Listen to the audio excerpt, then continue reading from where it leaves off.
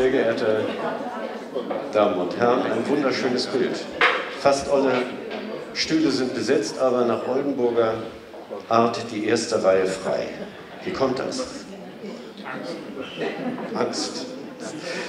Meine sehr geehrten Damen und Herren, liebe Kolleginnen und Kollegen, liebe Freunde von Bauwerk, liebe O1, Macher und auch liebe, ich weiß nicht, wo ich hingucken soll, Zuschauer später dann. Sie merken, wir sind auf Sendung, wenn auch jetzt zunächst mal äh, äh für die Reserve oder äh, erstmal, äh, das wird dann später gesendet. Wann, wissen wir noch nicht ganz genau, aber ich begrüße Sie, Zuschauer, natürlich ebenso herzlich. Ich begrüße Sie alle ganz herzlich zum Saisonstart 2022, dem 16. Programm in 17 Jahren.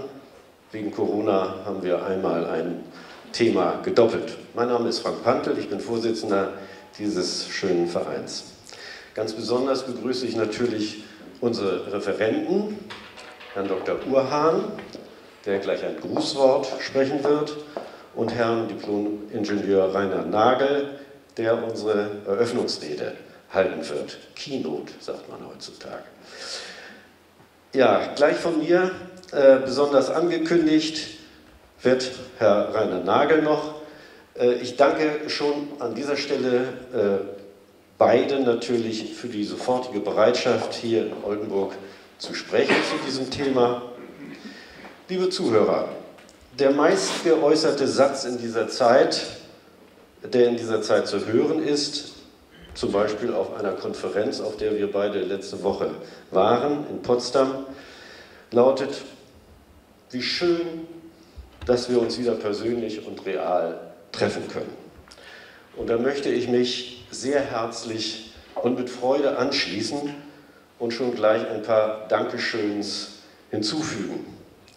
Danke an Sie, natürlich, die Sie treu oder neu, habe ich auch viele gesehen, hier sind, an unsere Sponsoren, die ich einmal, wenn ich auch nicht vollständig nennen möchte, das Land Niedersachsen, ein treuer Sponsor, die OLB ebenso, die Stadt Oldenburg ebenso. O1 dürfen wir jetzt dazu zählen, die uns günstigste Bedingungen für diese Übertragung eingeräumt haben ohne die diese und andere, die Sie auf der Sponsorentafel hier vorne um die Ecke sehen und auch im Internet äh, erkennen können, ohne die diese Veranstaltung so natürlich nicht vonstatten gehen könnte. Ja, nochmal an unsere Gäste, an Sie und ich möchte auch nicht verletzt, äh, vergessen, zuletzt, nicht zuletzt auch an meine Mitstreiterinnen. Das sage ich bewusst so, weil ich bitte euch einmal auch kurz aufzustehen.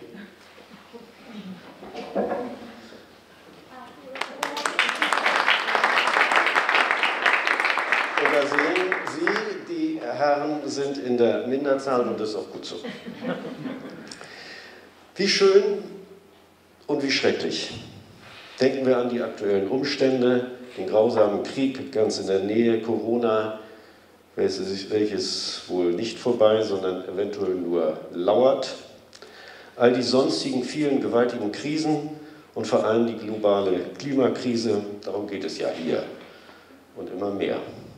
Liebe Versammelte, gleich und dann im Laufe des Sommers werden wir aus sehr berufenen Mündern viel Wissendes zu diesem Thema, unserem Thema Reuse, Wandel in und mit dem Bestand hören.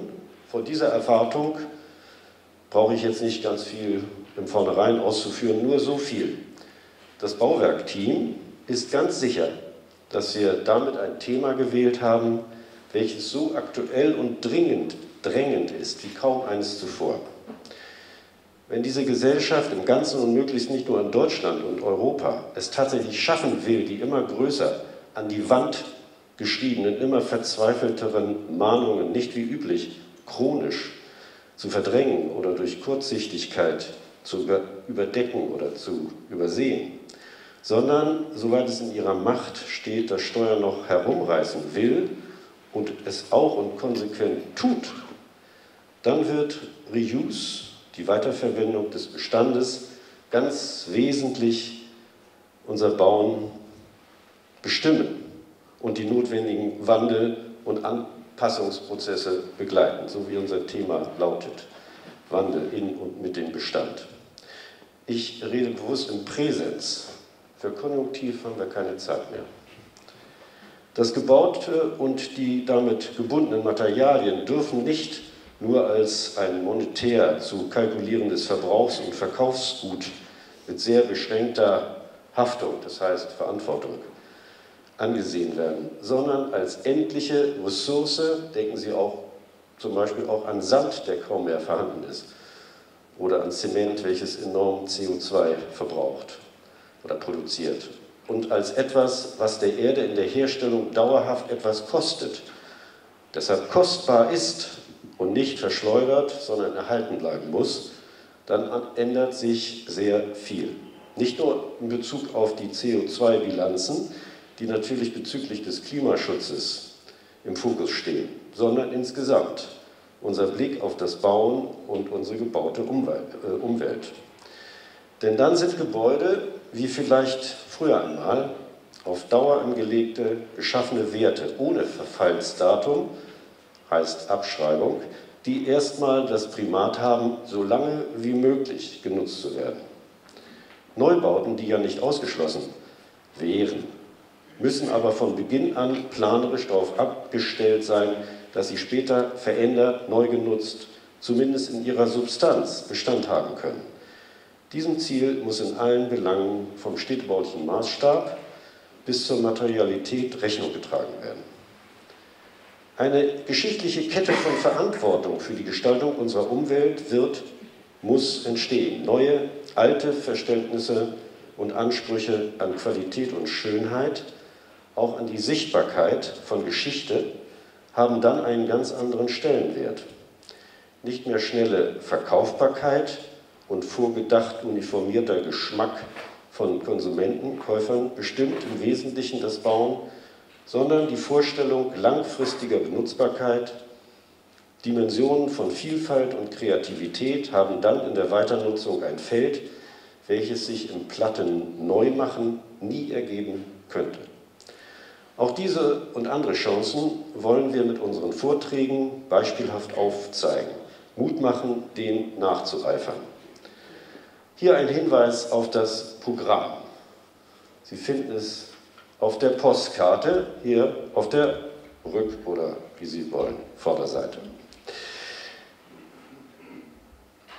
Insgesamt sieben Veranstaltungen haben wir vor, davon mit heute vier Vorträge über tolle Beispiele, Vorbilder mit anschließenden Diskussionen.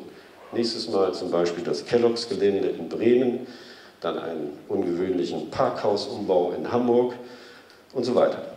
Zwei Podiumsdiskussionen mit lokalen und externen Gästen, in denen es vorrangig um Oldenburger Belange, ergriffene, verpasste oder zukünftige Chancen gehen soll.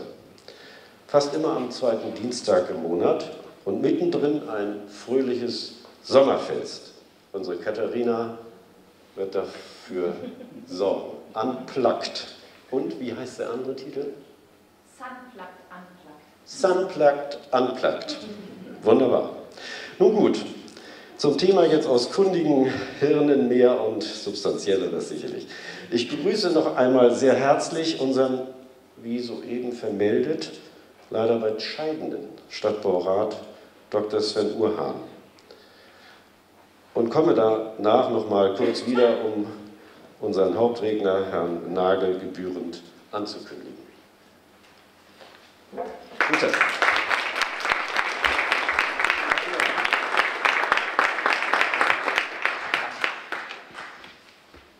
Sehr geehrter Herr Dr. Pantel, meine Damen und Herren, ich würde auch vom Organisationsteam, weil wir immer guten Kontakt miteinander hatten, äh, liebe Frau Sömmling, lieber Herr Matthias, einmal kurz erwähnen und lieber Herr Nagel. Ich freue mich tatsächlich sehr, heute nochmal da zu sein. Ähm, Sie haben es gerade angesprochen, äh, aufgrund der Aktualität bin ich ja im NWZ-Hinweis zu heute Abend schon als noch Stadtbaurat angekündigt worden. Dann bin ich äh, vor knapp drei Tagen, als ich dann gelesen habe, nochmal auf die Idee gekommen, eignet sich eigentlich eine Stadtbauratsposition auch zu einem Reuse, lieber Dr. Pantel? Wird man in den nächsten Tagen nochmal wahrscheinlich das eine oder andere zu diskutieren haben, ähm, wie das dann im Nachfolgenden äh, so ausgehen wird. Ähm, ich mache diese Position, ich will das äh, einmal nutzen, um zwei, drei persönliche Worte äh, aufgrund der aktuellen Lage zu sagen. Ich mache diese Position nicht nur sehr gerne die letzten Jahre, ich mache sie auch bis zum letzten Tag für die Stadt und für meine Kolleginnen und Kollegen sehr, sehr gerne. Also von daher habe ich auch nie in Frage gestellt, jetzt nachdem ich das Ende letzter Woche ähm, eben kommuniziert habe, dass ich in den nächsten Tagen oder Wochen äh, meine Präsenz äh, reduziere oder auch heute Abend vielleicht dann lieber eine Vertretung schicke. Das kommt nicht in Frage, weil ich bin, und das war auch letztes Jahr so gewesen, das ist dieses Jahr genauso, ein überzeugter Komma nach hier. Ich komme gerne in die Bauwerkhalle, aber ich komme ganz besonders gerne zum Verein und zu den jährlichen Runden, die sie ausrichten. Und letztes Jahr hatten sie das gute Klima als Synonym für Klimaschutz und auch für den Gemeinsinn in den Kopf gerufen. Und dieses Jahr ist es erneut, glaube ich, Ihnen allen gelungen, die für das Programm verantwortlich zeichnen, eben mit dem Thema Reuse noch mal ein Stück weit sogar vor der Zeit zu sein. Ähm, gratuliere Ihnen dazu, das meine ich ganz im Ernst, weil ähm, oft gehen Podiumsrunden oder Veranstaltungsreihen so ein Stück weit hinter der Zeit und auch wenn Reuse äh, äh, wahrlich keine Erneuerung oder neuer Gedanke in der Gesellschaft ist, so ist es dann doch äh, Ihnen, äh, wie soll ich sagen, erneut gelungen, das Thema jetzt in den Fokus zu setzen und äh, wenn man sich, Sie haben das Programm gerade nur so angerissen, äh, wenn man sich das de facto mal richtig anguckt und überlegt, was da alles gelingt an Themen und an Tragweite auch nach Oldenburg nochmal zu ziehen, in die Bauwerkhalle hier zu ziehen, äh, muss ich ganz ehrlich sagen, äh, ist das mal wieder aller Ehren wert. Und äh, Sie sagen das immer so ein bisschen mit Demut, das ist kostenfrei und wir sind dankbar den Sponsoren. Ähm, man darf das, glaube ich, äh, gezielt sagen, es ist kostenfrei, aber es war noch nie umsonst, äh, hierher zu kommen. Und von daher äh, wirklich meine, meine tief überzeugte Gratulation zu dem Programm, dass Ihnen das immer wieder gelingt.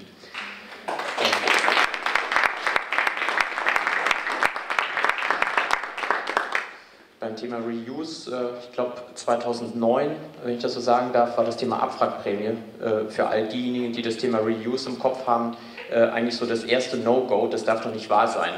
Und wir hatten damals deutschlandweit, ich weiß nicht, ich hätte die Zahl nachgucken können, ich weiß nicht, wie viele Millionen Fahrzeuge in einem absolut noch substanziellen Alter abgefragt, um eben der, Welt, der, der Weltwirtschaft, aber auch der deutschen Wirtschaft ein Stück weit auf den Weg zu helfen. Das mag aus arbeitspolitischen und äh, wirtschaftspolitischen Gesichtspunkten die damals richtige Entscheidung gewesen zu sein.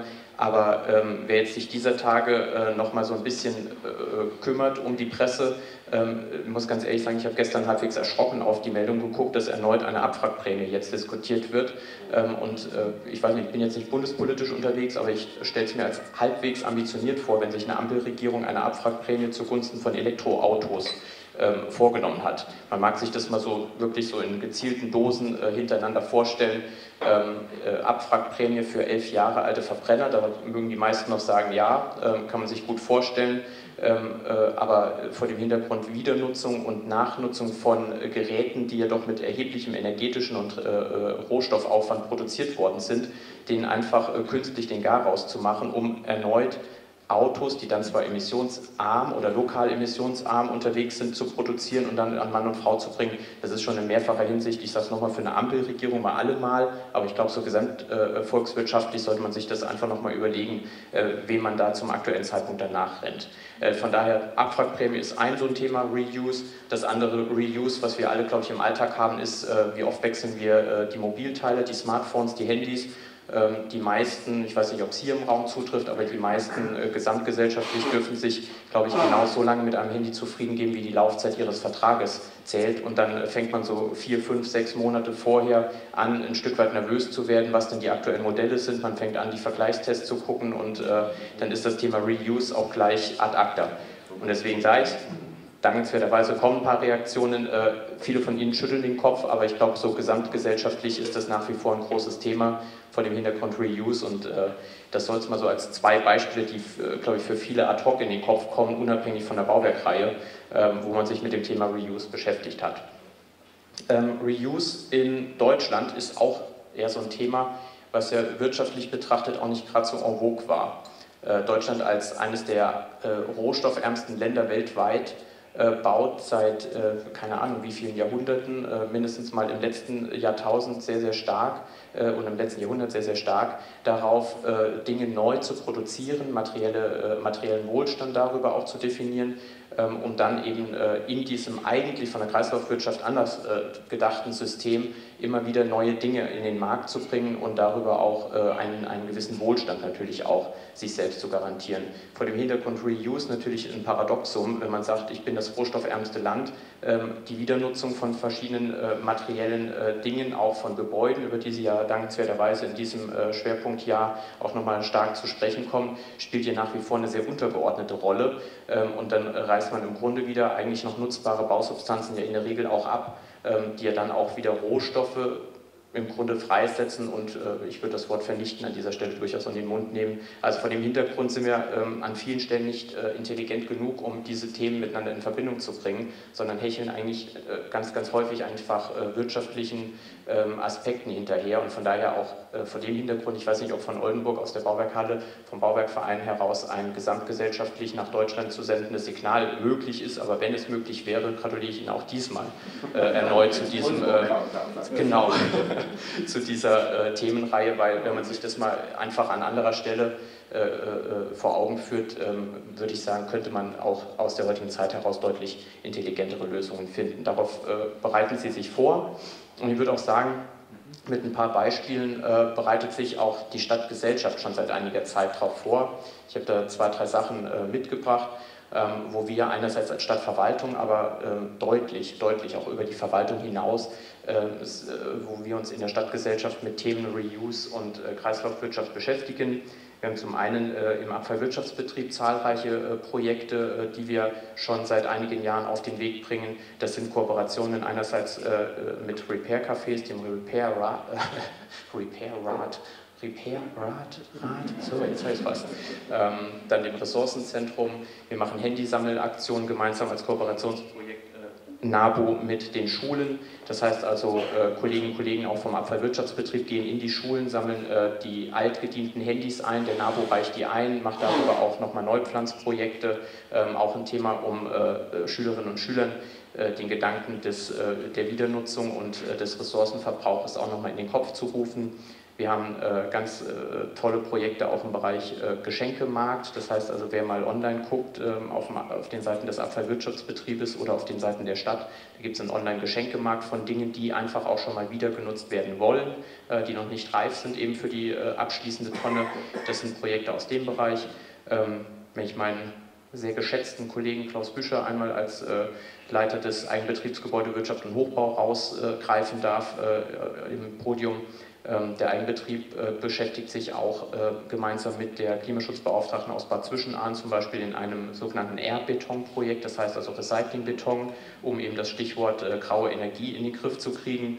Ähm, und wer jetzt im letzten Jahr so die Presse bei Großprojekten innerhalb der Stadt oder bei geplanten Großprojekten verfolgt hat, der dürfte auch darüber gestolpert sein, dass die Firma Lindenprojekt, sie mag an der Stelle ähm, durch die Presse begleitet worden sein, durch die Bürgerinitiative begleitet worden sein, ähm, wie es auch äh, war. Aber sie haben einen äh, großen Schritt gemacht, nämlich ist der erste Projektentwickler innerhalb der Stadt Oldenburg, äh, die von sich aus eben das Thema CO2-Bilanz und graue Energie sich vorgenommen haben.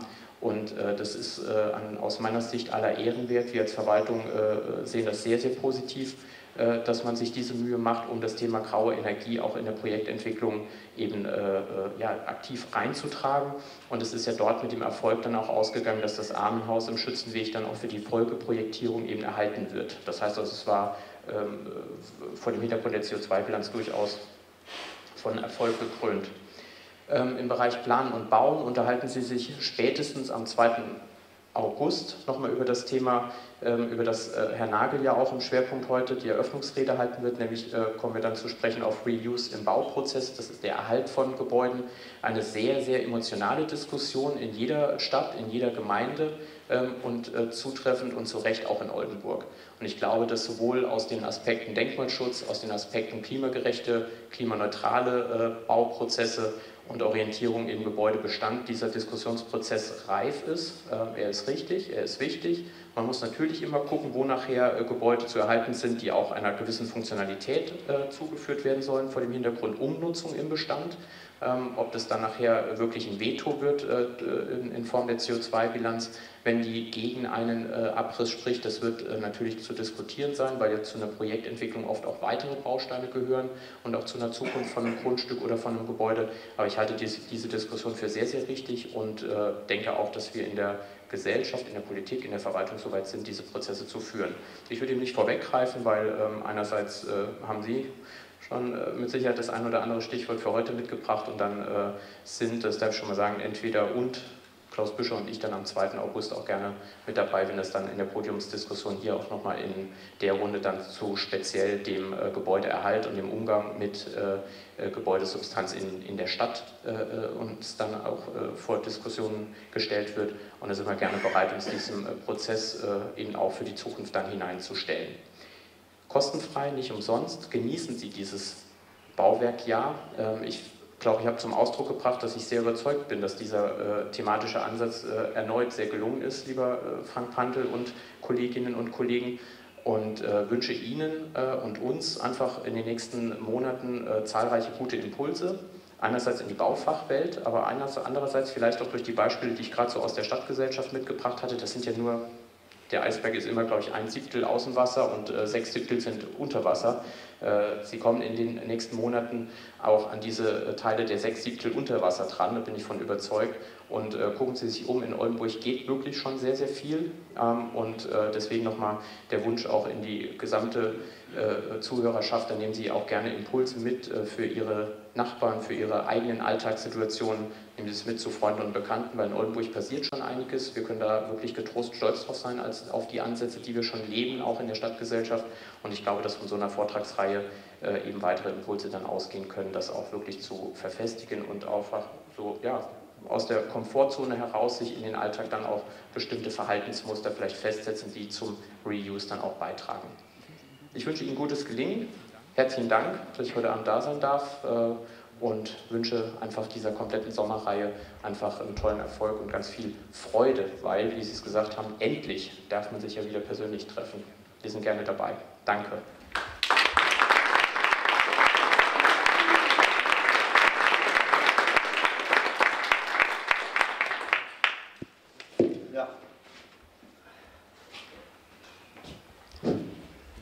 Ja. Vielen Dank, Herr Urhan. Eine Frage haben Sie eben schon beantwortet auf den 2. August bezogen. Da können wir mit Ihnen und Herrn Bücher, wir haben ihn noch nicht gefragt, rechnen. Ganz vielen Dank dafür. Es ist hier, so ist das eben. Ne? ja. Äh, ja, es geht natürlich äh, ums Bauen hier hauptsächlich, äh, Handys natürlich auch, aber wir wollen uns jetzt ums Bauen kümmern. Und jetzt begrüßen wir Herrn Rainer Nagel. Lieber Rainer, darf ich sagen, es ist mir eine sehr, sehr große Freude, dich als Vortragenden äh, hier für uns, für unsere Eröffnungsveranstaltung in Oldenburg gewonnen zu haben und dich nun einem gespannten Publikum etwas vorstellen zu dürfen. Ich darf sagen, dass ich auch sehr froh bin, dich schon seit langer Zeit zu kennen. In Lüneburg damals sind wir uns nicht begegnet. Du warst ein paar Dekaden unter mir in der Schule. Äh, nämlich seit wir vor 30, 40 Jahren noch von Hannover aus äh, spannende Exkursionen in die europäische Stadtwelt organisiert und unternommen haben. Und ich zähle mich seitdem, hoffentlich mit deinem Einverständnis, zu deinem erweiterten fachlichen Freund, Freundeskreis. Äh, lieber Rainer, äh, nein, Entschuldigung, sehr geehrte Damen und Herren, ich habe Augenprobleme, kann das nicht so richtig erkennen. Ähm, Rainer Nagel, Diplom-Ingenieur und Stadtplaner mit Ausbildung in Hannover, ist seit 2013 Vorstandsvorsitzender der Bundesstiftung Baukultur. Zuvor war er Abteilungsleiter in der Senatsverwaltung für Stadtentwicklung Berlin für die Bereiche Stadtentwicklung, Stadt- und Freiraumplanung. Rainer Nagel hat seit 86, 1986 in verschiedenen Funktionen auf Bezirks- und Senatsebene für die Stadt Hamburg gearbeitet, ab 1998 in der Geschäftsleitung der Hafen City Hamburg GmbH. Er ist Lehrbeauftragter an der TU Berlin im Bereich Urban Design und Mitglied der Deutschen Akademie für Städtebau und Landesplanung. Da treffen wir uns häufiger. Und, und, und. Das kann ich alles gar nicht aufzählen.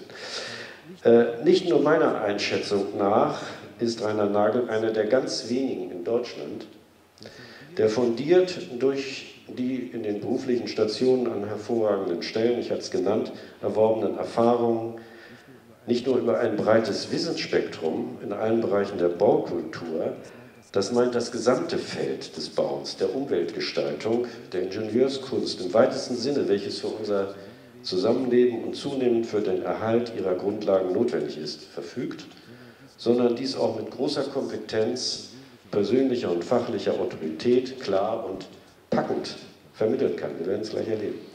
Seine immerwährende Neugierde, den Dingen auf den Grund zu gehen, dafür Kooperation mit anderen Wissenden einzugehen und ein gegebenes kommunikatives Talent und natürlich intellektuelles Vermögen befähigen ihn, die Dinge, alte und neue Zusammenhänge nicht nur zu erkennen und zu verstehen, sondern eben auch fantastisch anderen zu erklären. Eine Idealbesetzung für die Aufgabe, die du wahrnimmst. Können Sie mir mal klatschen.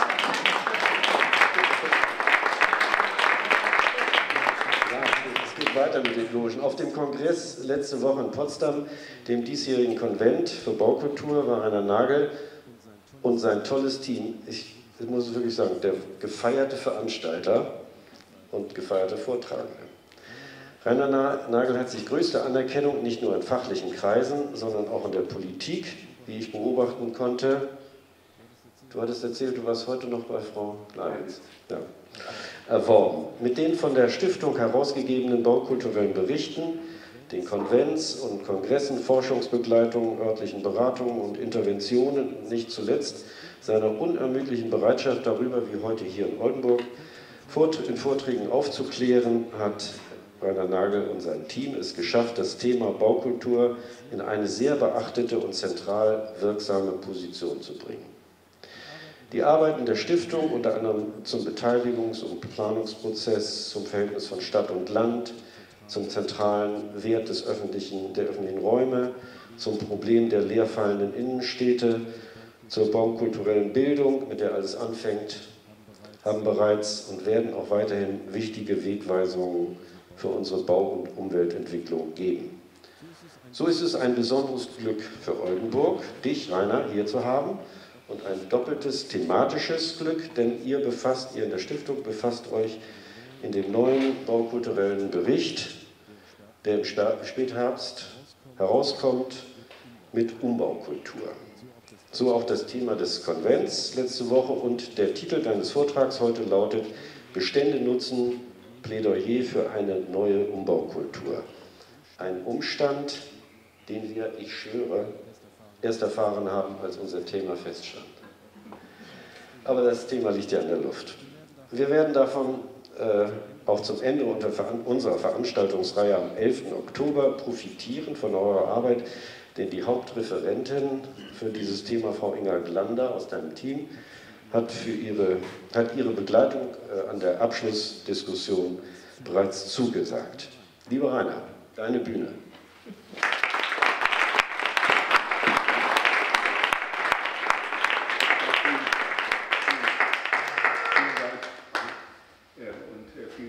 Kolleginnen vom Bauwerk, ähm, die das hier alles organisiert haben. Äh, Oldenburg, das finde ich wirklich großartig äh, und ich bin besonders froh, dass ich jetzt nicht irgendwie eine Keynote, sondern tatsächlich eine Eröffnungsrede halten kann für diesen Reigen von, von Vorträgen äh, und ich glaube, diese Eröffnungsrede wird so ein bisschen was wie ein Pilot, weil ich auch einige Themen schon anteaser, die Sie dann später nochmal intensiver hören. Was ich alles nicht machen kann, ist darauf jetzt eingehen, was schon so angedeutet wurde. Was versuchen wir mit der Baukultur ans, ans gesellschaftliche Handlungsebene zu verankern? Warum gibt es uns überhaupt? Warum dürfen wir alle zwei Jahre einen Bericht zur Lage der Baukultur dem Bundeskabinett, also Frau Geiwitz und Herrn Scholz, jetzt vorlegen? Das sind alles Themen vielleicht am Rande. Die meisten von Ihnen haben jetzt schon einen relativ langen Tag hinter sich. Und deshalb werden Sie froh sein, dass ich viele Bilder mitgebracht habe. Das macht es ein bisschen kurzweilig. Und wenn wir uns darauf einigen können, dass ich so eine knappe Stunde rede ähm, dann, und Ihnen verspreche, dass es jetzt nicht zu trocken wird, dann sind wir so gegen halb durch, halb neun. Ja, einverstanden? Gut, dann lege ich mal los. Ich habe jetzt ähm, viele Folien mitgebracht, habe hier keinen Vorschaumodus. Ich gehe jetzt genau wie Sie so ein bisschen in die Folien rein. Mal gucken, was dabei rauskommt. Herr Urhan hat schon auf diesen Sachverhalt hingearbeitet und deshalb habe ich auch dies als erste Folie genommen. Das ist sozusagen die Lebensdauer unserer Produkte, mit denen wir uns umgeben. Wir sind alle wahnsinnig stolz auf das Handy, aber das ist nach 2,5 Jahren schon nicht mehr in der Lage, die Corona-App zu laden. Die Abwrackprämie für Autos ist Wahnsinn, wenn man sich überlegt, dass auch die E-Mobilität ein Energieproblem hat. Auch die kann nicht ohne weiteres energetisch im Moment hergestellt werden. Ähm, in Brandenburg gibt es zwar das neue Tesla-Werk, aber die Primärenergie für dieses Fahrzeug selber geht eben zulasten auch der Wohnenergie und Gas ist ja im Moment sowieso sehr selten. Und die, letzt, die längste Amplitude, die wir haben in unserer Gesellschaft, sind die Gebäude selbst und die Infrastruktur, auf denen diese Gebäude aufgebaut sind. Sie haben bestimmt hier einige räumliche Situationen, da fragen Sie sich, wieso ist das so? Und meistens sind da irgendwelche Leitungen im Untergrund oder historische Grenzen, Gebäudestellungen die Ursache dafür, dass es so ist, wie es ist. Und diese Gebäude, die 60 bis 100 bis 200 Jahre halten, viele kaufen ja auch Gründerzeitgebäude und sagen, das ist ein wertiges Ding. Die Gründerzeit ist 130 Jahre alt, wenn es die richtige Gründerzeit ist oder noch älter. Und äh, da hofft man ja auch, dass es noch 100 Jahre hält. Also die Gebäude, da geben uns manchmal nicht genug Mühe damit, dafür, dass es wirklich so eine lange Amplitude ist.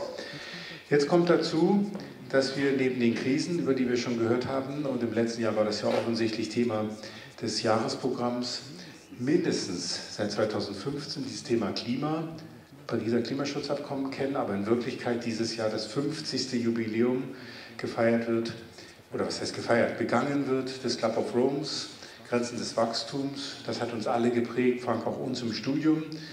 Und äh, ich will das nur mal zeigen, während wir heute als Folge dieses äh, Klimawandels über abschmelzende Polkappen reden, wir mit unserem Baukulturbericht 1819 über den Bestand schon nachgedacht haben. Daraus sich das Haus der Erde, eine ja, Streitschrift, kann man fast sagen, des BDAs abgeleitet hat, künftig sozusagen nur noch Ultima Ratio neu zu bauen und ansonsten den Bestand zu nutzen.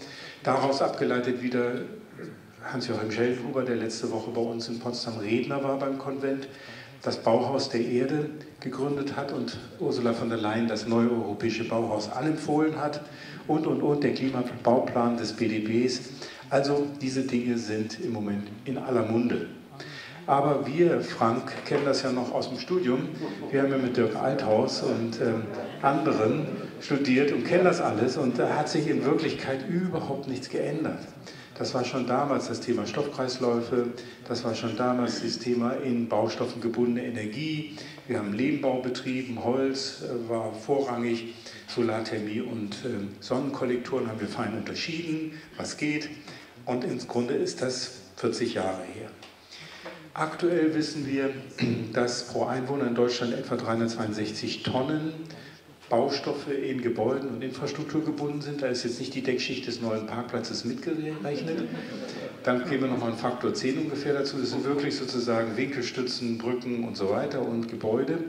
Und Werner Sobeck hat uns jetzt beim Konvent letzte Woche, wo er auch nochmal eindringlich über die, diese Umbaufragen geredet hat, nochmal gesagt, dass wenn man diese Zahl von 2010 fortschreibt, dann sind es jetzt aktuell 400 Tonnen pro Einwohner. Und das ist relativ schwer. Das ist so schwer wie ein vollbesetzter ICE oder zwei leere Boeing 747, bei 400 Tonnen wahrscheinlich sogar vollbesetzte Boeing 747. Und das ist ja nicht nur von der Vorstellungskraft ein erhebliches Gewicht, sondern wenn man das so vor sich hat, dann muss man auch was damit machen. Das ist ja auch eine Verantwortung. Das, was wir in die Welt setzen, können wir nicht liegen lassen und irgendwie so einen Apfel anbeißen, wegschmeißen, nächste. Sondern wir müssen das ja pflegen, unterhalten. Das ist uns anderen mindestens ein Dorn im Auge, vielleicht sogar ein Weg. Also mit dem Bestand ist Verantwortung verbunden. Und in Deutschland als in Zentraleuropa vergleichsweise dicht besiedelt sind das 14 Prozent unserer Siedlungs- und Verkehrsflächen, die wir schon komplett nutzen. Im Rheinland sind das sogar 27. Das wechselt. aber 14 über ganz Deutschland. Das ist auch relativ viel. Gleichzeitig haben wir ein Luxusproblem, das heißt, bei gleichbleibender Bevölkerungszahl haben wir unsere Wohnflächen unsere, ja, unseren Bewegungsradius fast äh, ja, verdoppelt, na, verdoppelt nicht, aber erheblich erweitert, nochmal 20, 30 Prozent. Auch unsere Wohnungen sind viel größer geworden. Wir haben jetzt etwa 47 Quadratmeter je Einwohner. Und wir verbrauchen immer noch jeden Tag zu viel Fläche. Übrigens ist das nur die verfügbare Zahl, wo wir immer Flächenverbrauch sagen, was ja nicht stimmt. Das ist planerisch in Anspruch genommene Fläche. Da galt mal das 30 Hektar Ziel am Tag 2020. Das ist sagen klanglos auf 30 verschoben worden. Im Moment sind wir so etwa bei 58 Hektar pro Tag planerisch neu in Anspruch genommene Fläche. Aber für unsere Umwelt, was wir draußen sehen, ist entscheidender, dass etwa 100 Hektar am Tag versiegelt werden. Das sind dann diese Flächen, die in Webläden und so weiter endlich bebaut werden und die dann wirklich auch, kennen Sie auch das Thema Schottergärten, obwohl die Bauordnung das gar nicht zulassen, natürlich massiv versiegelt werden. Das ist schon das Vorgartenparken für zwei Autos und dann kommt noch der Schottergarten mit einer Folie drunter dazu und das ist richtig heftig. Ich gehe später nochmal auf dieses Thema Tiefgaragen in dem Zusammenhang ein.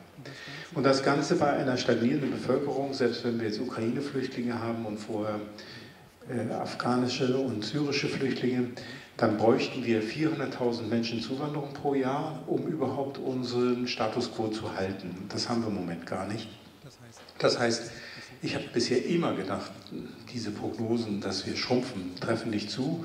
Aber inzwischen muss man wohl sagen, 14. koordinierte, 15. kommt bald, dass wir noch überproportional groß wachsen, glaube ich auch nicht. Also wir werden stagnieren auf etwa 80 Millionen Einwohner und dann hoffentlich auch einen stabilen Stamm haben, bei dem immer wieder junge Menschen auch nachwachsen, die öffentliche Räume nutzen und die letztlich für die Gesellschaft unheimlich wichtig sind. Das sind unsere Baukulturberichte. Wir haben das Privileg, alle zwei Jahre einen Bericht zur Lage der Baukultur in Deutschland dem Bundeskabinett vorzulegen über das zuständige Ressort. Und das ist ja was. Also ich sitze, wir sitzen in Potsdam, aber es gibt viele Lobbyisten, die sitzen um zwei Kilometer Radius um den Bundestag. Die haben so alle wir fangen bei 50 Mitarbeitenden an, 50 bis 100 Mitarbeitenden. Und jeder von denen beobachtet auf Schritt und Tritt, wie die Minister und Staatssekretäre unterwegs sind und würde sich sozusagen alle Finger lecken, wenn die mal einen Bericht übergeben könnten. Wir müssen das. Und das ist natürlich keine Pflicht, sondern das ist eine, ein Privileg, das wir auch so sehen. Wir haben immer versucht, ähm, so wie ihr jetzt auch mit diesem Jahresprogramm, nicht zu prognostizieren, das ist schwierig, wir sind doch keine Zukunftsforscher, aber zu projizieren. Also das, was heute ist, mal auf zwei, drei, vier, fünf Jahre weiterzudenken und dann zu gucken, womit werden wir uns wahrscheinlich in vier Jahren beschäftigen. Und das war dann natürlich am Anfang erstmal die Entwicklung großer Städte und das Thema Wohnen, was uns immer noch äh, beschäftigt. Dann haben wir aber schon 2014 angefangen, zum Thema ländliche Räume, Klein- und Mittelstädte zu arbeiten, was inzwischen ja auch eine ganz wichtige Handlungsebene für unsere Gesellschaft ist. Wir hatten gerade heute die Frau Scharif, das ist die Direktorin von UN Habitat. UN Habitat weltweit setzt natürlich auf die Entwicklung der großen Städte. Und ähm, ich glaube nicht, dass es allein die großen Städte sind, die, das, die die Welt retten werden, sondern es wird da, wo machbar, Polyzentralität sein und über die Polyzentralität Teilhabe von Menschen. Weil in großen Städten sind Menschen auch vereinsamt, während in kleineren Städten im Quartier kann man mitwirken. Dann haben wir das Thema Erbebestand und Zukunft aufgegriffen am Rande des Weltwirtschaftsforums in Davos, die Davos Declaration towards High Quality Baukultur entwickelt. Aktuell das Thema öffentliche Räume noch vor der Corona-Pandemie, ich glaube Februar, 13. März war dann sozusagen der erste Lockdown. Und dieses Thema hat sich nochmal als richtig erwiesen, weil in der Corona-Pandemie waren die öffentlichen Räume bedeutsam, noch bedeutsamer, als sie im allgemeinen Geschäftsbetrieb sind weil sie eben für jedermann zugänglich sind, groß, große Flächen belegen und konsumfrei genutzt werden können. Dazu sage ich gleich noch was. Das war jetzt das Einlageblatt in unserem Baukulturbericht und das ist unsere Stiftung da im Hintergrund. Ich zeige sie nachher noch etwas größer in Potsdam. Und durch Corona hat sich vieles geändert. Es hat sich beispielsweise geändert, wie wir zusammen wohnen, gemeinschaftlicher, vielleicht dichter, wie wir wohnen und arbeiten mischen. Braucht es noch sozusagen Spezialgebäude oder ist das hybrider geworden?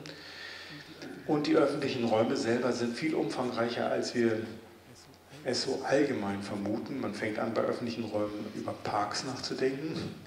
dann fällt einem ein Straßen, dann fallen einem ein Plätze und so weiter. Und wenn man immer weiter denkt, dann sind öffentliche Räume vergleichsweise groß. Man kann das auch mal aus, ausmalen. Da ist dann, wenn man anfängt, auch ein Ufer, ein Wasser, eine Brücke, öffentlicher Raum und das geht sogar in die Gebäude hinein. In ähm, Hamburg sind es 33 Prozent der Flächen, die öffentliche Räume sind, in Berlin 50, über 50. Oldenburg habe ich jetzt nicht recherchiert, aber dazwischen wird es liegen. Und diese öffentlichen Räume haben die Besonderheit, dass sie nicht nur im öffentlichen Eigentum sind, sondern dass Städte sie privatrechtlich steuern können. Also nicht nur über Planungsrecht und über Widmung, sondern über Sondernutzungsverträge, Überlassungsverträge, Sondernutzungsgebühren, das kann man jede Woche bei der Ratssitzung kann man irgendwas verabreden, dass jetzt angesichts von Corona Verkaufsstände gebührenfrei nutzbar sind, machbar sind, dass ein Markt anders gestaltet wird und so weiter.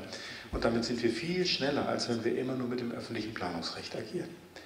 Aber die öffentlichen Räume sind natürlich auch Träger von Mobilität und wenn man an Venedig denkt, auch von Utopie manchmal eben aber auch von Dystopie. Und dieses Bild von Pierre aus 1969 zeigt so eine Utopie, soll das sein, ähm, über die Stadt der Zukunft. Und Sie sehen, das kommt uns allen bekannt vor. Das sind Mobilität zu Lande, zu Wasser und in der Luft, vorne rechts.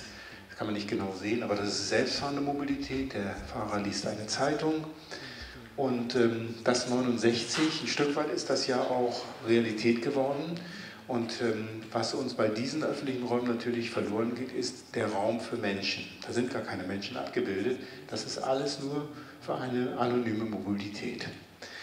Und das ist das, was wir aus 59 kennen. Wir haben ja schon Hannover gesagt. Rudolf Hildebrand war seinerzeit, das war übrigens einer der wenigen, ich glaube der einzige Stadtplaner, der es überhaupt mal auf einen Spiegelartikel geschafft hat oder Architekt.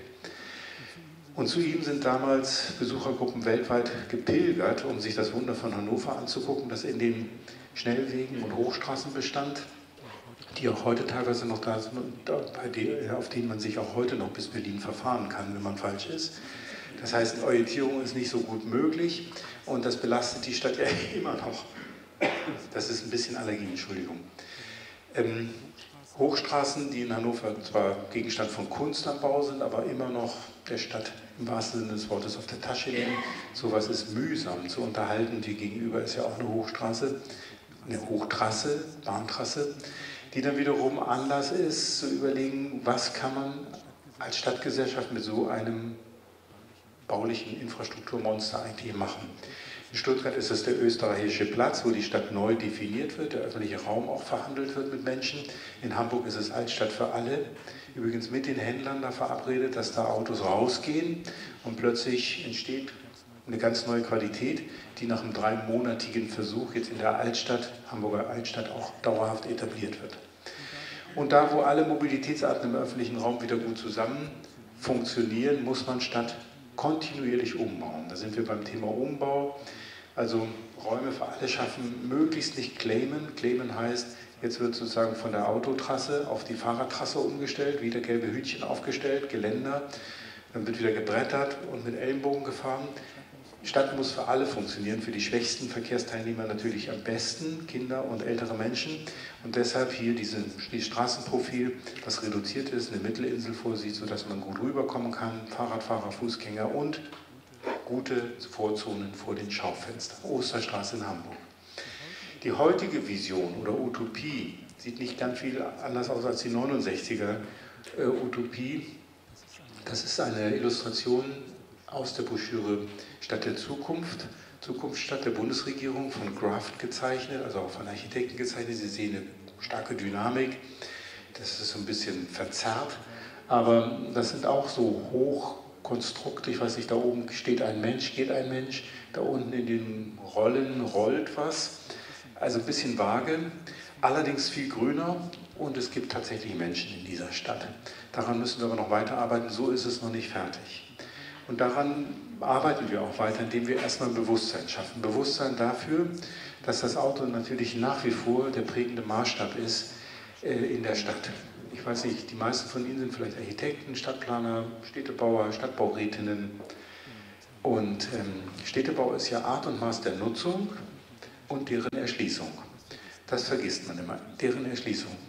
Und mir fällt auf, äh, ich bin zum Beispiel, mein Mobilitätskonzept ist Bahncard 100, bin ich privilegiert und Klapprad oder Rad. Und wenn ich so unterwegs bin, merke ich, hier ist alles nur für Autos. Die Vorgartensituation, die Straßen, die Brücken, die Parkplätze, wo man hinkommt, alles nur für Autos. Und da haben wir uns ganz schön was eingekauft. Äh, auch die Frage des ruhenden Verkehrs noch unter den Gebäuden. Also wenn wir jetzt demnächst klimaverträglicher bauen wollen, dann ist das sensibelste, äh, der sensibelste Baustoff, das wissen wir alle, der Beton. Und ich kenne noch keinen Tiefgaragenstellplatz, den man aus Lehm oder Holz bauen kann. Das gibt es nicht. Also am Schluss machen wir Klima Plus, Lehm, Holz und dann sagen wir aber Stellplatzverpflichtung, wir gehen jetzt mal auf 0,5 oder 0,6, aber ganz mutig. Aber eine Etage Tiefstellplatz äh, brauchen wir schon noch, Tiefgarage. Fordert ja auch die Stadt. Und wir wollen ja auch nicht den öffentlichen Raum zuparken. Und schon baut man mit der Gesamtkonstruktion mindestens vier Meter tiefe Betonkeller, die man nie wieder rauskriegt. Denn jedes Grundstück wird vertraglich so übergeben, dass es eine Tiefenenttrümmerung bis drei Meter unter Grund gibt und die Kellersohle wird immer drin bleiben. Immer drin bleiben. Das heißt, eine zweite GRZ, die da unten liegt, wenn man das Grundstück vollflächig mit einer Tiefgarage unterbaut, die ist immer drin und deshalb wird der Boden nie mehr so richtig durchdringen. Das ist ein Dilemma. Deshalb plädieren wir dafür, Stellplätze jetzt immer in Quartiersgaragen neben anzubauen, möglichst mit hohen Decken, sodass man wieder was draus machen kann, wenn man es nicht mehr braucht, aber nicht mehr unter die Gebäude mit Beton zu gehen, womöglich. Das ist vielleicht ein bisschen radikal. Wir sehen auch, was man mit diesen Stellplätzen machen kann. Wir haben einen Preisvergleich mal gemacht, beispielsweise in Hamburg, Altstadt, kostet so ein Stellplatz, naja, wenn man ihn kaufen wollte, 250.000 Euro Bodenpreis. Der ähm, faire Jahresmietpreis wäre 10.000 Euro, aber die Stadt vermietet das für 20 Euro. Balkonbewirtschaftung im Jahr. Das ist, ich will jetzt nicht, dass es teurer wird, ich will nur, dass man sich ein Bewusstsein darüber schafft, was für wertvolle Flächen wir haben und wie wir damit asen, im wahrsten Sinne des Wortes. Automobilität wird auch immer schwerer. Das ist, ähm, um es jetzt nicht so besonders äh, zu skandalisieren, habe ich mal den Golf 1 bis zum Golf 8 genommen. Der Golf 9 wird wahrscheinlich ein E-Golf, der ist dann nochmal 500 Kilo schwerer mit der Batterie und wird dann auch vielleicht 300 PS haben. Das ist ein Zoom-Effekt in der Gesellschaft, auch beim Auto. Und das führt dazu, dass die Räume auch immer dichter werden. Ähm, mir ist aufgefallen, wir Planer denken ja auch sehr stark so vom Raum und Visier, was sieht man? Visierbüro ist für mich ein wichtiges Thema. Also in Norddeutschland, wenn man über den Deich kommt, ist ja ein besonderes Erlebnis. Aber wenn man jetzt einen SUV vor sich hat oder ein Wohnmobil, dann braucht man nicht mehr drüber gucken über das Dach. Das geht ja gar nicht mehr. Früher konnte man vielleicht noch so an einer parkenden Autoreihe vorbeigehen und jemanden hinten grüßen. Das ist jetzt meistens zu Ende. Und ähm, Fußgänger sind so zwischen Hauswand und parkender Autoreihe mehr oder weniger eingeklemmt. Und da zeigen wir, dass die Verdopplung dieser Räume für Fußgänger eine etwa Vervierfachung der Frequenzpotenziale in sich birgt. Das heißt, gerade unter Corona-Bedingungen sollte man prioritär dem Fußgänger mehr Platz einräumen in der Stadt, aber auch künftig. Und das sind alles keine neuen Erkenntnisse, sondern Jen Jakobs, mit denen viele studiert haben, hat das bereits in den 60er Jahren gesagt. Und äh, die neue Heimat, die nun überhaupt nicht verdächtig ist, irgendwie radikal ähm, autofreie Städte gebaut zu haben oder autoarme Städte gebaut zu haben, hat in ihrem Monatsheft 1979, also zehn Jahre nach Pierre gesagt, an die Stelle der Autostadt muss die Stadt für Kinder treten. Und das stimmt heute immer noch. Heute ist der bekannteste Stadtplaner, wie Sie wissen, Jan Gehl, der das Thema Städte für Menschen äh, propagiert. Und die Stadt für Menschen ist die Stadt des Blickkontakts. Blickkontakt geht so bis 30 Meter, 20, 30 Meter. Bei 60 kann man sich überlegen, grüße ich noch oder habe ich, haben wir uns gar nicht gesehen. Aber die Stadt des Blickkontakts muss eben aus der Nähe gut funktionieren. Und das hat auch was mit den Gebäuden zu tun. Deshalb, wir haben das zwar als Architekten gelernt, aber es macht Sinn, dass Gebäude in jeder Maßstabsebene als Volumen, in der Gliederung, als Fassade, als Erdgeschosszone und als Detail gut funktionieren, weil in jeder dieser Ebenen hat man wieder ein Annäherungspotenzial ans Gebäude. Am Schluss fasst man es an und ich mache zusätzlich noch die Klopfprobe, wobei ich ähm, schon ahne, wie es ausgeht. Ich ahne schon immer, wie es ausgeht. Wärmedämmverbund Fassaden. Und Erdgeschosse sind eben wirklich der prägende Raum. Zwei Drittel der Raumwahrnehmung neurobiologisch geht auf den Boden, hell, dunkel. Und dann noch die Erdgeschosse und darüber nimmt man nicht unbedingt wahr, wie hoch ist das Haus. Also wenn Sie Menschen fragen, dieses Haus hier, neben, an dem wir stehen, wie viele Geschosse hat das, wissen die meisten nicht, ob das drei, vier, fünf, sechs sind.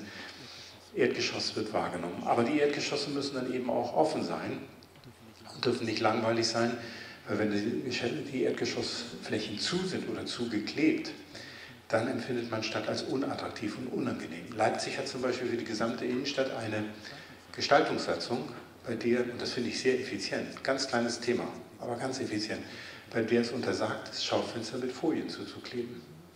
Das heißt, auch ein Supermarkt, der da, was weiß ich, diese Erdgeschosse bauen musste und anschließend erkennt, das passt ja hier für mich nicht, ich muss ja von innen irgendwie Ware. Und die werden dann meistens zugeklebt und steht dann dick drauf, was weiß ich, Lidl oder Rewe. Die dürfen das nicht machen und es gibt ein ganz anderes Stadterlebnis, da kann man überall reingucken. Selbst wenn Leerstand ist, kann man reingucken und das ist nur zu empfehlen. Amazon ist keine Stadt, war eine Baukulturaktion der Baukultur Nordrhein-Westfalen, als klar wurde mit dem Onlinehandel, von dem Richard David Brecht empfiehlt, dass man ihn zusätzlich besteuern sollte, oder eben Augenhöhe verschafft, indem auch der Öffnungszeiten, zum Beispiel am Sonntag nicht geöffnet hat, wie äh, die Läden. Dieser Onlinehandel hat jetzt in der Pandemie nochmal erhebliches Wachstum produziert und dafür gesorgt, dass die Städte noch stärker leiden, Schließung von Läden. Das Schließen alteingesessener Läden empfinden die meisten Menschen als Bedrohung ihrer Heimat. Untersuchung von Allensbach. Und da gibt es eben in einer benachbarten Stadt Osnabrück, die Sie vielleicht auch kennen, solche Situationen mitten in der Stadt. Das ist doch traurig, oder? Und einem fällt irgendwie die Fantasie, wie man da rangeht, weil das sind alles schwierige Gebäude, die eine hohe Gebäudetiefe haben. Man muss Adrien reinbringen, manchmal stimmen die Deckenlasten nicht. Das ist richtig schwierig. Und das Thema Einzelhandel für die Städte bewegt im Moment viele. Es gibt ein Förderprogramm Innenstädte, wir sind da auch eingebunden in einen Innenstadtbeirat. Und das Radikalste, was ich dazu mal gehört habe, war von Mels Grans. Den kennen Sie wiederum in die andere Richtung, Bremerhaven. Der Bürgermeister, der sagte, die Stadt nimmt sich jetzt zurück, was der Handel ihr genommen hat. so kann man es natürlich auch sehen. Aber es kommt darauf an, dass man eben irgendwie was erfindet, dass da wieder Leben ist. Und der Handel muss sich natürlich auch Mühe geben. Ich finde, Online-Shops, also äh, Handyshops oder äh, Nagelstudios oder Wettstudios ist keine attraktive Innenstadtnutzung, sondern da muss dann auch in den Schaufenstern was sein. Und dazu gibt es Wohnen, Bildung, Gastronomie und so weiter und so weiter. Rotterdam hat sich zur Regel gemacht, 10% unserer Einwohner sollen in der Innenstadt leben. Nun ist jede Innenstadt unterschiedlich. Aber ich weiß nicht, äh, wahrscheinlich in Oldenburg trifft das zu, dass etwa 17.000 Menschen in der Innenstadt leben? Nein? Aber vielleicht wäre das mal ein Ziel. Also dann wird es lebendig, dann äh, brummt auch wieder was. Ich weiß nicht, ob das überhaupt funktionieren könnte, aber durch Umbau geht ja vieles. Soziale Funktionen, Gastronomie, Kultur, urbane Produktion, Handel, Entschuldigung, Handwerk könnte wieder sein oder Bildung. Bildung ist auch ein wichtiges Thema und das wird dann durch öffentlichen Raum miteinander verbunden und zusammengehalten. Ähm, die Stadt Siegen hat durch die Wegnahme der Siegplatte ihre Innenstadt erheblich attraktiviert. Das ist wirklich sehr, sehr schön geworden und hat wieder neuen Magnetismus fürs Umland entwickelt. Und der nächste Schritt, den Sie jetzt macht, ist, dass Sie, dass Sie Ihre Universität erweitern müssen. Die haben 18.000 Studenten und verdoppeln sich jetzt nochmal fast. Und die haben eine Campus-Universität vor der Stadt, aber die bauen nicht die Campus-Universität weiter, sondern mieten und kaufen jetzt Objekte in der Innenstadt. Das heißt, auf das bestehende Karstadthaus gehen die unten, unten noch Handel in den Obergeschossen mit einem Hörsaalzentrum. Und das bringt natürlich junges Leben in die Stadt sehr, sehr zu empfehlen. Ja, oder Herne, die neuen Höfe, dort das alte Karstadthaus auch umgebaut durch zwei Lichthöfe, deshalb Höfe, aber bei sehr niedrigen Deckenlasten, nur 500 Kilo. Das ist deshalb riskant, weil sie dann natürlich diese Höfe nicht begrünen können, sie können da auch nicht attraktive Innenhofnutzungen machen. Das ist dann sehr, teilweise sehr nüchtern. Trotzdem hier vom Entwicklungsmanagement her ans Limit gegangen. Das hat Landmarken AG gemacht, aber das Gebäude konnte gehalten werden. Da brauche ich Ihnen jetzt aber in Oldenburg nichts erzählen. Sie sind ja selber Vorreiter. Ich war gerade noch mal drüben beim Chor. Ähm, der Umbau des alten Hertie-Hauses ist nicht nur architektonisch und gestalterisch attraktiv, sondern auch vom Nutzungskonzept, Art und Maß der Nutzung. Man käme gar nicht auf die Idee, an dieser Stelle jetzt irgendwie so ein Coworking und niedrigschwelliges ähm, Arbeitszentrum zu machen, wo man sich auch treffen kann, Gastronomie. Das wird inspiriert durch das Gebäude, durch seine großen Räume und das Gebäude oder die Architekten und Entwickler haben natürlich Glück, dass das Haus schon vorher nicht schlecht war. Also die Fußböden, die an den Boden gezogenen Fenster und so weiter, das ist alles sehr, sehr anständig. Und ähm, man kann was daraus machen, wenn man sich Mühe gibt. Und ich glaube, die Idee zur Nutzung kommt eben aus dem Gebäude selbst. Da gibt es sowas wie eine Seele. Ich komme da gleich nochmal drauf. Diese Bilder kennen Sie alle. Ich habe ähnliche eben gemacht und vielleicht hat das sogar ausgewirkt auf die Region. Es gibt jetzt weitere Umnutzungskonzepte in Delmenhorst, aber strahlt eben auch ab bis zur Bremer Innenstadt oder umgekehrt. Das befruchtet sich gegenseitig. Auch da haben ja Zech und Jakobs beschlossen, die alten Karstadtgebäude, Kaufhofgebäude, also Kaufhäuser und Parkhäuser zu halten und umzubauen und nicht abzureißen und neu zu bauen und daraus wieder irgendwie neue Energie zu schöpfen, saubere und hatten hier mit diesen Aufstockungen. Und der Altbau trägt immer so ein Stück ja, Besonderheit in sich. Auf dieses Volumen, mit den Höhen mit diesen Raumformen wäre man nie im Neubau gekommen. Es ist uns irgendwie lieb geworden, es ist für die Universität ein sehr starker Magnet. Die Universität Bremen hat sich ein Stück weit auch durch diese Gebäude ähm, ja, neu begründet und eine hohe Attraktivität bundesweit errungen. Stadt- und gebaute Räume funktionieren immer wie Nolli das 1748 mal aufgezeichnet hat. Das war in Wirklichkeit ein Plan, um steuerrechtlich abzusichern, wer was zahlen muss. Aber Sie sehen, das ist ein atypischer Schwarzplan. Da sind nicht nur die Gebäude, schwarz gezeichnet, sondern offen gelassen ist da, wo man ins Pantheon oder in Innenhöfe und so weiter öffentlich reingehen kann. Und so funktioniert der Stadt, bestehende Stadt. Immer wieder mit der zweiten Reihe, mit Durchgängen, mit Wegeräumen, die wir nicht unbedingt sofort sehen. So ist ja dieses auch, wenn man so will, heute mindestens ein öffentlicher Raum oder halböffentlicher Raum. Und wenn Stadt attraktiv werden soll, müssen wir die Tiefe, die, Komplexität, das Spannende an Stadt herauskitzeln und neu entwickeln. Und dafür empfehle ich Ihnen, Ihren Routenfinder auf dem Handy umzu, ähm, wie nennt man das, umzuprogrammieren. Der ist nämlich voreingestellt auf Auto und äh, ich musste jedes Mal wieder neu suchen und jetzt habe ich ihn voreingestellt auf Fußgänger, das ist viel bequemer. Und Stadt sollte so funktionieren, dass jetzt bei uns, das funktioniert nicht, wenn man aus unserer Stiftung ins holländische Viertel in Potsdam geht, dann, obwohl das der Wahnsinn ist, ich weiß gar nicht, wie man da fährt, ist man wirklich mit dem Auto noch schneller als zu Fuß. Dann wird man das Auto zwar nicht los, aber immerhin. Und Stadt muss eigentlich so funktionieren, dass man zu Fuß schneller und kürzer funktioniert. Weil der Fußweg, den wir gehen können, man geht eine Minute in, äh, 100 Meter in einer Minute als erwachsener Mensch, wenn man schnell geht, ist eben begrenzt und dann nimmt man sich nicht zu viel vor. Wir haben dann bundesweit gesucht und tatsächlich eine Stadt gefunden, Erfurt, wo der Weg vom Wenigemarkt zum Domplatz kürzer und auch schneller zu Fuß ist als mit dem Auto. Das ist jetzt nicht konstruiert, sondern es ist so. Da kann man nicht durchfahren. Und was ergibt sich im Umkehrschluss? Hochattraktive Wegeräume. Also überall, wo man da geht, ist was los. Da ist die Stadt hergerichtet, da ist Markt, da sind Erdgeschosszonen, da sind Plätze. Und dass es ähm, uns Menschen innewohnt, dass wenn ein Weg attraktiv ist, wenn er menschlichen Maßstab hat, ich erinnere nochmal an Christopher Alexander, Pattern Language, dass wir wirklich auch kleine Absätze schaffen, kleine Podeste, wo man sitzen kann, Durchblicke, äh, Begrüßungsszenen. Diese Liebe am Detail haben wir häufig gar nicht mehr im Entwurf, aber die braucht es. Und dann wird Stadt so attraktiv, dass Menschen bereit sind, 70 Prozent längere Wege zu gehen und damit auch Stadt anders zu nutzen. Nur wenn die Wege interessant sind, wenn man an einer geschlossenen Kaufhausfassade oder in einer Tiefgarage lang geht, dann kriegt man Trauma, aber geht garantiert nicht einen längeren Weg. Und diesen, dieses Phänomen, statt durch Attraktivität und Wegeräume attraktiv zu machen, haben ihre Kollegen in ähm, Lübeck anlässlich ihres 20. Jubiläums 2019, wenn ich richtig gezählt habe, ist ja auch in drei Jahren hier so eine Art Jubiläum, wenigstens was die Vortragsreihen betrifft.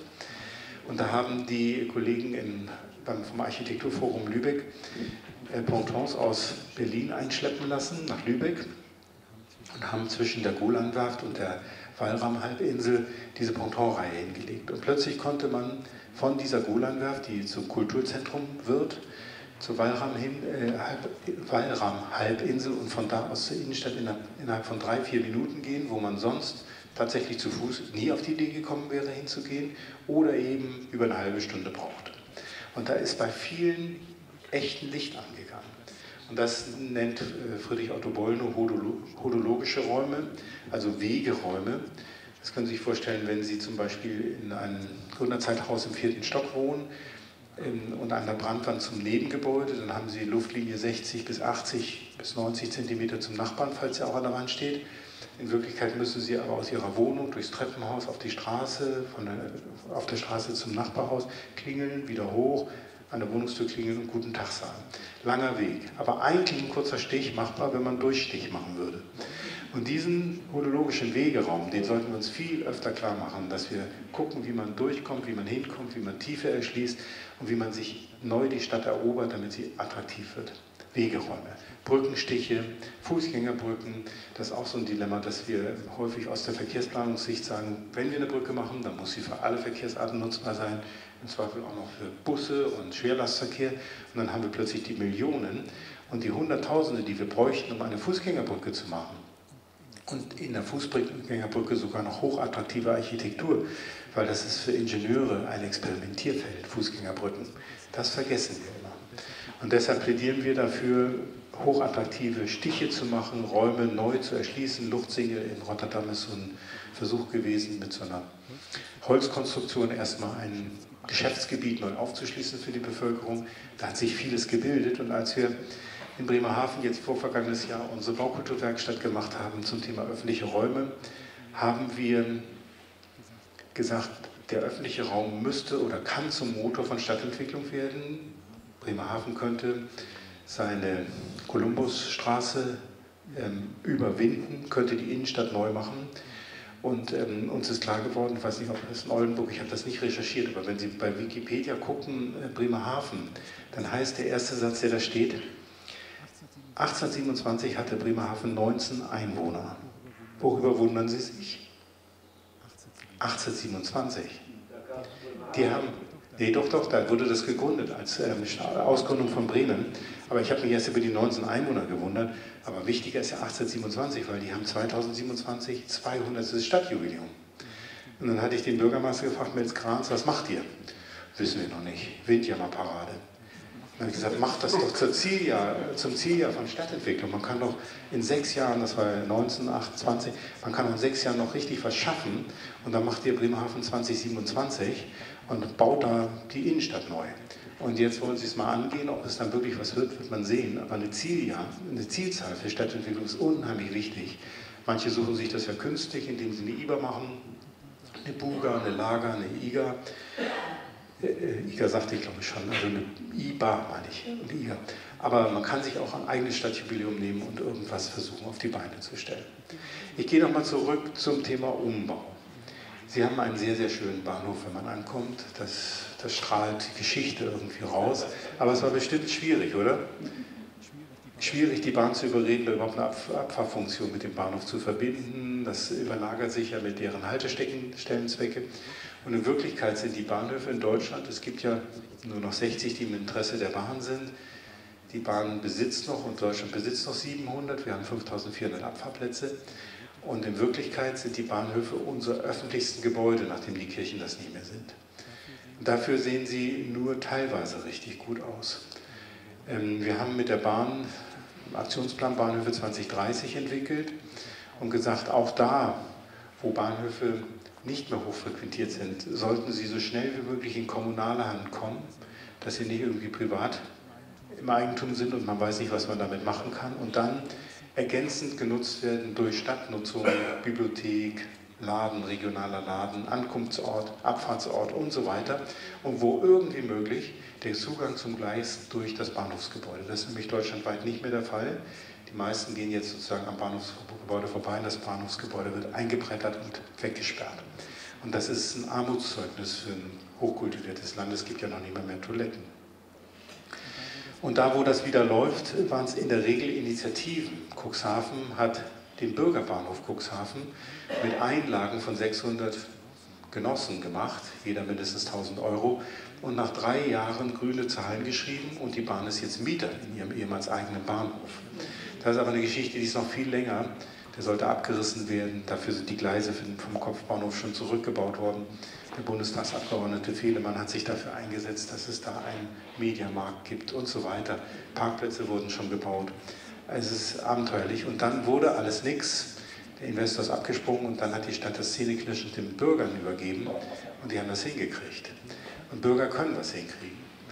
Und ich freue mich als Bahnfahrer natürlich auch über solche tollen Projekte hier. Das ist ein Gleisgarten in Harburg, wo man ganz gerne im Sommer wartet wo auch eine Attraktivität durch den Raum gegeben ist. Überhaupt öffentliche Räume, und das ist jetzt ein Rezept für alles, was wir künftig machen, müssen immer ganzheitlich, holistisch gesehen werden. Wenn wir ressortbezogen arbeiten, Tiefbauamt, Grünflächenamt, Leitungsträger, Verkehrsbetriebe, dann haben wir das Phänomen geteilter Verantwortung und das heißt, sind wir nicht. Sind wir nicht. Weiß ich jetzt auch nicht, wer das da gemacht hat, also wir nicht. Das geht aber nicht. Also im öffentlichen Raum kann man nicht den Bürgern sagen, sind wir nicht. Also das ist immer die Stadt. Und deshalb gibt es in Mannheim, aber auch in Hamburg in den Bezirken jetzt auch Fachämter öffentlicher Raum, die mit Ergebnisverantwortung den öffentlichen Raum angucken. Und ich mache ähm, neben der Klopfprobe häufig die Seilleuchtenprobe. Ich gucke mal hoch, ob da eine Seilleuchte hängt. Wenn Seilleuchten hängen, ist es häufig ein Zeichen, dass die Städte sich ganz gut organisiert haben, dass sie eine Grunddienstbarkeit einräumen durften bei Nachbarn, die da diese Anker akzeptieren und dass sie miteinander reden. Weil öffentlicher Raum braucht immer Kommunikation. Ich gehe jetzt mal zum nächsten Themenblock, das betrifft das Thema neues Bauen. Wir werden ja auch, bevor wir umbauen, auch noch viel neu bauen müssen. 400.000 Wohnungen, aktuell sogar vielleicht 500.000. Ich war heute Morgen bei Frau Geiwitz und das Wohnungsbauthema ist dominant. Aber wir konnten schon mit anderen erreichen, dass das Wohnungsneubauthema nicht nur das Thema Neubau, sondern auch Umbau betrifft und dass es inzwischen eine Erkenntnis ist, dass wir nicht mehr Bauland brauchen. Es gibt genug Bauland in Deutschland, überall. Es sind nur die schwierigeren Flächen, Konversionsflächen und, und, und. Und wir haben mit dazu dafür gesorgt im Hintergrund, dass bei der Bundeskanzlerverfügung zur Ressortbildung auch die Raumordnung aus der Heimat zurückkam ins Bauressort. Weil Raumordnung macht in Wirklichkeit auch Siedlungsentwicklung. Das wissen die wenigsten, Gegenstromprinzip der räumlichen Planung, dass auch die übergeordnete Planung natürlich auf die Gemeindeplanung Einfluss nimmt und umgekehrt. Jetzt besteht Umbau bei neuen Wohnungen nicht unbedingt darin, dass man Wohnungen teilt, aus einer zwei macht, sondern dass man aufstockt, anbaut, erweitert. Aufstockung hat Riesenpotenzial in Deutschland. Übrigens auch der Umbau von Büroflächen. Nach Einschätzung der ARGE Schleswig-Holstein, Herrn Wahlbrink, gibt es in Deutschland 50 Prozent der leerfallenden Bürogebäude im Moment, die ohne Wenn und Aber in Wohnungen umgebaut werden können. Und die anderen 50 kann man auch umbauen, ist nur schwieriger, braucht man wegen der tiefen Höfe und so weiter. In Wirklichkeit ist das attraktiv, weil diese Bürogebäude andere Dichten haben, urbaner sind, städtischer sind und teilweise eben auch andere Milieus ausstrahlen, dadurch andere Wohnungsqualitäten machbar sind, loftartige. Und deshalb sollte man umbauen, aufstocken, ergänzen. Da steckt unheimlich viel Potenzial. Und hier, das ist äh, in Frankfurt, zwei Geschosse draufgesetzt. Es gibt eine andere Räumlichkeit. Architektonisch ist das noch mühsam. Aber das Potenzial ist da und uns ist am liebsten, dass man es integriert macht. Also hier ist zum Beispiel eine Hofbebauung ergänzt worden. Das ist zwar Neubau, aber eben Umbau von Stadt und bestehendem Hof. Und es sind neue Räume geschaffen worden im Hof, Straßen, Gärten und so weiter, die für alle Bewohner zugänglich sind. Konversion von Flächen ist mühsam, dafür braucht man gutes Entwicklungsmanagement und was ich nur empfehlen kann beim Entwicklungsmanagement, weil ich teilweise auch nicht den Fehler, aber trotz Bedenken eben dann auch eingelenkt habe, viel abzureißen, so viel wie möglich bei Konversion halten. Weil der Bestand ist die Seele des Konversionsprojektes. Wir haben die Hafen City entwickelt und da konnten wir nicht viel machen, weil das Hochwasserschutzkonzept zweieinhalb, drei, vier Meter Aufhöhung heißt, wir müssten die ganze Morphologie und Topographie überformen. Aber das Milieu der Hafen City ist die Speicherstadt. Viele hatten sogar gesagt, am Anfang hieß das Projekt auch Speicherstadt eher. Und wir haben uns mit dem Roten Ziegel und anderem daran angelehnt. Und wenn die Speicherstadt nicht da gewesen wäre und wenige Kleinode, die wir gehalten hätten, dann hätten wir keine Seele gekriegt. Und das Gebiet, was damals nicht entwickelbar war, weil es der Bahn noch gehörte, wir haben es später übernommen, das haben wir hochwassermäßig noch nicht bearbeitet, ist heute als Oberhafen wieder so eine Art Milieugeber für alles. Es ist unheimlich schwierig, mit Neubau eine Atmosphäre zu erzeugen und die gleich von Anfang an an den Start zu bringen. Der Altbau kann das in der Regel. Der Altbau hat Seele, hat Milieu, hat Charakter und wenn man den ergänzt, dann hat man schon die halbe Miete. Und deshalb lohnt es sich, selbst Gebäude, wo man sagt, ach, die sind doch das sind leichte, einfach nur Gewerbehallen und so, das ist doch nichts. Aber wenn man die, die herrichtet, das ist ja auch nichts hier, oder? Aber eigentlich ist es was Tolles. Nicht nur eigentlich, es ist super. Und ähm, man muss auch Gebäude, die immobilienwirtschaftlich wertlos sind, abgeschrieben sind, nochmal genau angucken, was man daraus machen kann. Ein Beispiel ist die Münchner Rückversicherung in München. Da hat die Münchner Rückversicherung, nachdem der Abriss schon genehmigt oder fast begonnen war, entschieden, nein, also ich weiß gar nicht mehr aus welchem Grund, das war nicht nur Umwelt, sondern es war pragmatische Gründe. Wir ähm, bauen dieses Großraumbüro, was keiner mehr haben will, um und reißen nicht ab. Sauerbruch hatten, hat das gemacht, also nicht neu gemauert, nicht neu betoniert, sondern mit der Flex ausgekernt, neue Fassade dran. Und nachweislich hat dieses Gebäude, Werner Sobek hat das dann berechnet, dadurch, dass die im Bestand, im Rohbau gebundene Energie gesichert werden konnte, 34 Jahre CO2-Ausstoß aus Heiz- und Kühllast eingespart. 34 Jahre. Da kommen Sie nie hinterher im dauerhaften Betrieb. Wenn Sie das im Rohbau sichern, dann haben Sie sozusagen so einen Vorsprung gegenüber allem, was neu gebaut wird. Das geht sonst nicht. Und das sind dann auch pragmatische Gründe. Hier die Schätze in Krefeld, die wurden als öffentlicher Raum gewidmet und gehalten. Da sind Räume entstanden, die man sonst nicht hätte. Oder für 170.000 Euro, inklusive, also plus Nebenkosten 200.000 Euro, Umbau dieser Lagerhalle zu einer Vinothek.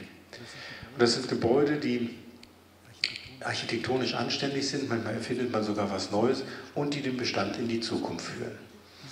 Dieses Thema ist ja nicht neu. Also wir hatten das Reuse ja auf der 13. Architekturbiennale vor zehn Jahren. Das hat äh, Muck Petzet kuratiert seinerzeit. Da sind Beispiele auch in einer großen Fotomontage gezeigt worden aus München, aus Berlin, in der Brunnenstraße von Brandelhuber.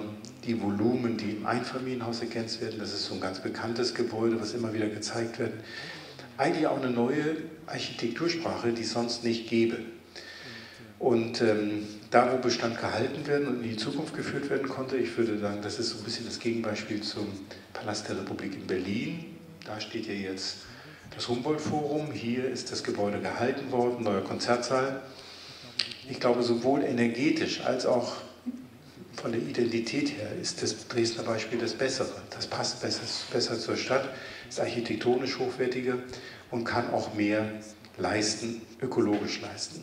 Umbau als Normalfall ist eine Schrift der Architektenkammer Niedersachsen, die auch jetzt sagt, wir müssen viel stärker erstmal vom Bestand ausgehen, bevor wir neu bauen. Und das betrifft dann auch Gebäude, wie Sie sie noch sehen werden, den Gröningerhof in Hamburg, das ist fantastisch. Nicht ganz einfach, Sie werden da auch wahrscheinlich ehrliche Bauherren und, und Architekten hören, nicht ganz einfach, aber es geht immer um Auskernen, geht so viel wie möglich graue Energie halten. Und dieses Thema graue Energie möchte ich nochmal vertiefen. Das ist das in Baukörpern gebundene Energiepotenzial der Primärenergie, die wir da einsetzen. Wir wissen inzwischen durch Werner Sobeck, Sie hören vielleicht manchmal die Zahl 38 Prozent, andere sagen 46 Prozent. Werner Sobeck hat jetzt sehr genau mit vier Doktoranden und einem großen Forschungsvorhaben geguckt, wie groß ist der CO2-Fußabdruck vom Baum.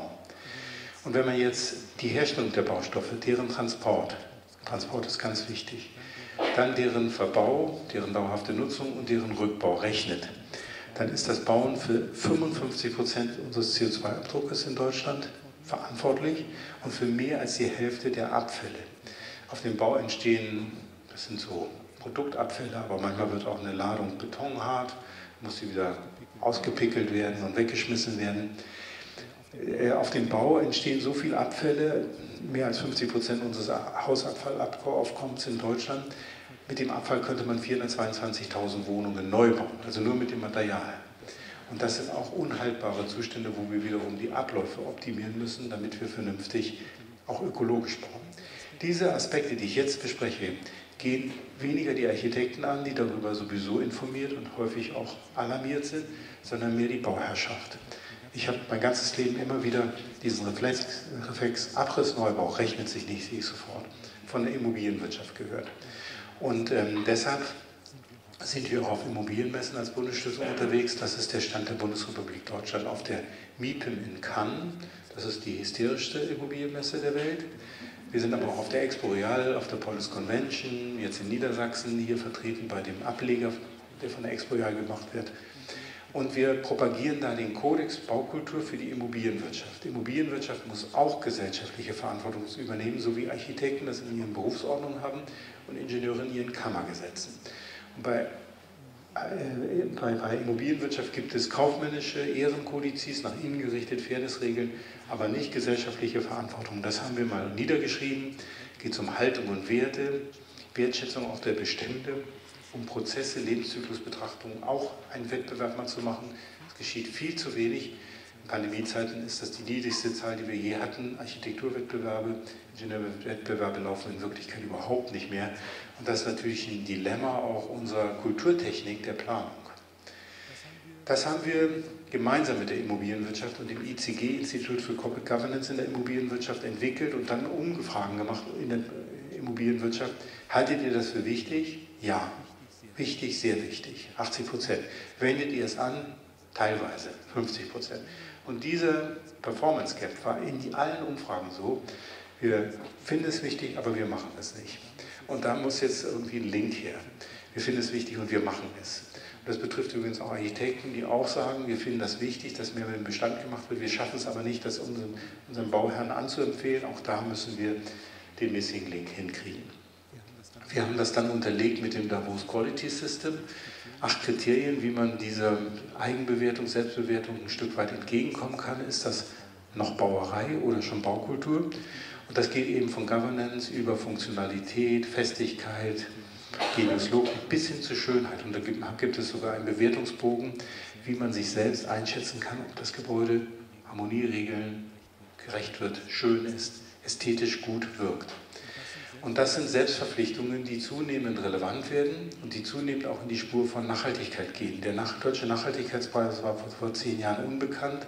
Jetzt ist es im Tagesmagazin Frankfurter Allgemeine ganzseitige Anzeige, wenn Alnatura den deutschen Umweltpreis, Nachhaltigkeitspreis gewinnt. Der aktuelle Preisträger sind die drei Forschungshäuser in Bad Aibling von B&O, Florian Nagler und, und ähm äh, äh, na, Thomas Auer aus, aus Stuttgart und München, die das untersucht haben. Und Sie kennen das, das sind neue Baustoffe, ein Haus aus Holz, eins aus Ziegel und eins aus ähm, Bohrenbeton. Und hier sehen Sie die Messungen, die da stattgefunden haben, die Simulation, der sogenannte Performance Gap. Und es zeigt sich, dass das Holzhaus die günstigsten Eigenschaften hat, CO2 zu binden, aber auch geringen CO2-Einsatz zu erzeugen. Das war irgendwie absehbar. Jetzt geht es da weiter, dass das Haus nochmal qualifiziert wird und dass es drei Holzhäuser gibt, Holzrahmenbau, Vollholz und Schichtholz. Und in unserer letzten Veranstaltung, die wir da hatten, haben wir nochmal das Thema Lehm ergänzt, sodass B&O jetzt die nächsten Forschungshäuser nicht mehr mit Betonkern, sondern mit einem Stampflehmkern baut. Und dann haben wir wirklich langsam ein Energie-Plus oder Klima-Plus-Haus, weil da sind wirklich dann, Lehm ist wirklich klimaneutral, wenn er aus dem Boden kommt nicht transportiert wird. Und Holz kann gewisser Weise CO2 binden. Da muss man sich aber auch ehrlich machen, nur wenn natürlich alles benutzt wird und nicht zu viel im Boden bleibt. Und die Bilanzen zeigen dann links Einsparung durch Holz und Lehm, rechts wieder Ausgaben durch Beton und Tragwerk. Das müssen wir optimieren und wir müssen es vor allen Dingen, Frank Pantel sagte es schon, so aufbereiten, dass es dann rezyklierbar ist, dass wir es wieder auseinandernehmen können. Und die zwölf Bauteilbörsen, die es in Deutschland gibt, die werden zum Glück mehr. Es gibt inzwischen auch Online-Portale, wo man seine Baustoffe ankündigen kann und dann aus den vorhandenen Baustoffen neue Gebäude baut. Das werden Sie, glaube ich, auch hier nochmal hören. Ich weiß nicht in situ, ob die vortragen werden, Ihre Häuser. Die kommen auch, das ist fantastisch. Und das ist das, wo ich glaube, hier wird langsam aus grauer Energie goldene Energie, weil das sind Architekturformen, die man sonst nicht gesehen hat. Jede Zeit hatte ihre eigene Architekturform. Die moderne, der historische Stil, die ganzen Neo-Stile, war Ausdrucksform der damaligen Zeit. Und heute, wenn wir mehr umbauen, muss auch der Umbau eine eigene Architektursprache erzeugen. Und da könnte das aus solchen Elementen, was Elementiertes sein, oder eine Form, auf die man sonst gar nicht gekommen wäre. Das sind alles so Images, wo man sieht, das sind anständige, charmante Wohn- und Lebensräume und man kann diese Bauteile zum Teil jedenfalls wiederverwenden auch in Hannover hier, City Förster, dieses Recycle-Haus, auch das wird sich, glaube ich, vorstellen. Und zeigen, bitte? Zur Abschlussveranstaltung kommt jemand. Und zeigen, wie sie das gemacht haben. Oder hier in Neustadt, auch aus vorhandenen Bauteilen. Man muss aber auch hier genau hingucken und sich ehrlich machen. Dieses sich ehrlich machen war Thema unseres Konvents jetzt letzte Woche mit Schellenhuber und Werner Sobeck. Das ist dieses Nest, das Forschungsprojekt in der Schweiz, in Dübendorf. Und natürlich sind da ökologische Schichten und Holz und Leichtbaustoffe und, und, und, aber die Decken mit dieser auskragenden Form gehen nur mit vorgespanntem Edelstahl. Und dieser vorgespannte Edelstahl ist natürlich extrem energieintensiv, sodass das ganze Haus auch nicht klimaneutral ist, überhaupt nicht. Aber es ist ein Forschungsprojekt und Werner Sobeck ist da selbstkritisch, hat jetzt den ersten Band einer Trilogie rausgegeben, der heißt Ausgehen von, muss man von dem, was ist, über die Zukunft des Bauens. Und da zeigt er, dass Beton beispielsweise sehr energieintensiv ist, Holz in gewisser Weise viel besser, Lehm energieneutral, wenn er nicht transportiert werden muss, Bambus und, und, und. Und macht uns in allen Zahlen ehrlich, aber eben auch betroffen. Und deshalb haben wir gesagt, äh, wo können wir denn anfangen? Anfang heißt ja immer no regret, low regret. Also das, was man jetzt gleich machen kann, wenn wir hier aus der Tür gehen, ohne jetzt lange zu rechnen, zu warten, dass sich was weiß ich, der Bewertungsmaßstab von Energie auf CO2 ändert, dass die KfW-Förderung nicht mehr den Wärmekoeffizienten rechnet, sondern den CO2-Fußabdruck uns aufgibt als Rucksack. Das kann ja alles noch Jahre dauern, obwohl die Politik im Moment darüber nachdenkt. Was man auf jeden Fall machen kann, ist, man kann jetzt schon sagen, bis 2050, und 2050 werden wir kein Energieproblem mehr haben, wir haben ja 10.000-fach so viel Energie auf der Welt, als wir sie nutzen können, dann werden die Technologien ausgereift sein, dass wir genug CO2-neutrale Energie haben. Dann haben wir noch ein CO2-Problem und das können wir lösen. Und bis dahin lohnt es sich nicht, Gebäude abzureißen, zweite Kolumne von rechts, von links und neu zu bauen. Das Ersatzneubaugebäude ist immer CO2-intensiver als alles andere, was man machen kann. Und selbst wenn es aus Holz und Lehm ist, gut, wir haben eine Holzbauquote von 20 Prozent in Deutschland, das heißt 80 Prozent sind konventionell und sind dann dieser CO2-Fußabdruck dunkelblau und dann noch 11 Tonnen im Betrieb. Es ist aber auch nicht gut, das Haus, wie es heute ist, einfach weiter zu nutzen. Vielleicht kann man sich noch einen Pullover anziehen, dann ist die Säule etwas niedriger. Aber am besten ist es, mit Augenmaß zu sanieren. Energiehaus 85, Energiehaus 40 muss gar nicht sein, das ist viel zu teuer und dann sind wieder seltene Erden und so weiter, die uns auch Baustoffe betreffen. Und wenn man Energiehaus 85 macht, dann geht es um Dämmung natürlich, Keller, es geht um Gasbrennwertheizung oder vielleicht jetzt eher ein äh, Wärmetauscher, eine Solaranlage und dann ist es mit vergleichsweise geringem Aufwand machbar. Und diese Dämmschichten haben schon bei 5 cm etwa ihr Optimum, 14 cm ist üblich, dicker braucht das nicht sein. Und die Häuser sehen ja wirklich auch verquollen aus, wenn sie so tiefe Leibungen haben und kleine Öffnungen oder zum Teil ja sogar Terrassenfenster zugemauert werden, damit der äh, Energiekoeffizient stimmt. Also bitte nicht zu viel machen, den Grenzwert betrachten. Und da sowieso kein Mensch Lust hat zu sanieren, also ich jedenfalls nicht, ein Haus zu sanieren, das kostet nur Geld. Anschließend, wenn es gut läuft, sieht es genauso aus wie vorher, nur neu. Und dann hat man dann so viel Geld ausgegeben. Also ich würde immer einen Sekundärzweck, zum Beispiel Wohnwertverbesserung, damit verbinden und eigentlich ist das für mich der Hauptzweck. Dann fällt die energetische Sanierung nebenbei an. Und deshalb haben wir ein Handbuch herausgebracht mit Freude sanieren, das Sie gern bei uns auch bestellen können. Ich bedauere, dass ich es nicht mitgebracht habe, sonst hätten wir es hier auslegen können. Vielleicht schicke ich es drauf für die nächste, nächste Veranstaltung. Und die Bevölkerung ähm, teilt das. Sie sagt, das Gebäude hat Potenzial, wir möchten es lieber erhalten. Wir trauen auch dem Bestandsgebäude mehr zu als dem Neubau. Mit Augenmaß, da können wir vielleicht sogar mit Muskelhypothek ran. Und diese Hightech-Gebäude sind sehr, sehr verletzlich. Die Steigerung von Hightech ist Low-Tech, sagen die Ingenieure. Und ähm, man kriegt auch nur in einem traurigen Bestandsgebäude eine neue Idee, was Architektur betrifft. Das sagen wir von der grauen zur goldenen Energie. Und graue Energie, ich weiß nicht, wie Sie das Wort finden, ist jetzt, wenn Sie gerade Fachmensch wären, dann würden Sie sagen, das ist jetzt nicht so richtig sexy, klingt jetzt irgendwie nach Staub, Zement, Momo, graue Herren.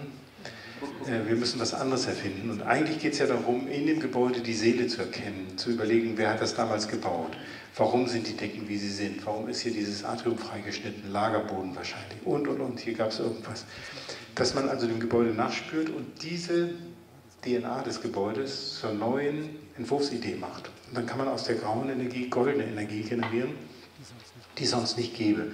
Wir zeigen manchmal diesen Mutmacher hier, das ist Austragshaus ähm, am Schädelberg im Bayerischen Wald, Denkmalschutz sehen Sie ja natürlich. Und ja, irgendwas geht immer.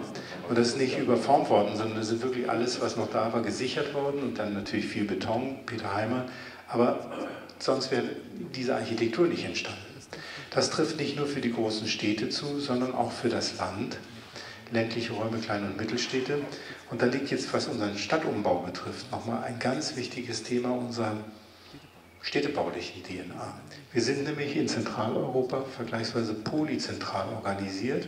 Zwei Stunden Postkutschenfahrt zur nächsten Stadt, zum nächsten Fürstentum. Und daraus generiert sich sowas wie eine eigene Identität. Die meisten Baukulturvereine Deutschlands es gibt jetzt schon viele, kommen aus dem historischen Stadtbild, 900 historische Stadtbilder. Und diese Genius Loki-Geschichte, das Haus als goldene Energie zu erkennen, das ist auch in Umfragen von Allensbach bestätigt worden. Menschen verbinden Heimat doch mit Gebäuden, nicht nur mit dem Koffer und Freunden. Und viele Menschen wollen auch lieber in einer Kleinstadt oder Mittelstadt wohnen, als freiwillig in einer Großstadt. Und deshalb heute Morgen nochmal UN Habitat nicht nur alles auf Qualifizierung von informellen Siedlungen, sondern vor allen Dingen auf die polyzentrale Stadtstruktur. 200 Seelen braucht es, damit man sich im Quartier gut arrangieren kann.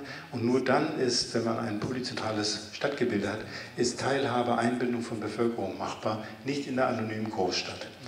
Und da haben sich dann viele Menschen ein Viertel schon für Gebäude oder für Strukturen selbst engagiert, 42 Prozent der Gemeinden in Deutschland sagen ja, wir haben Bürgerinitiativen, die das machen.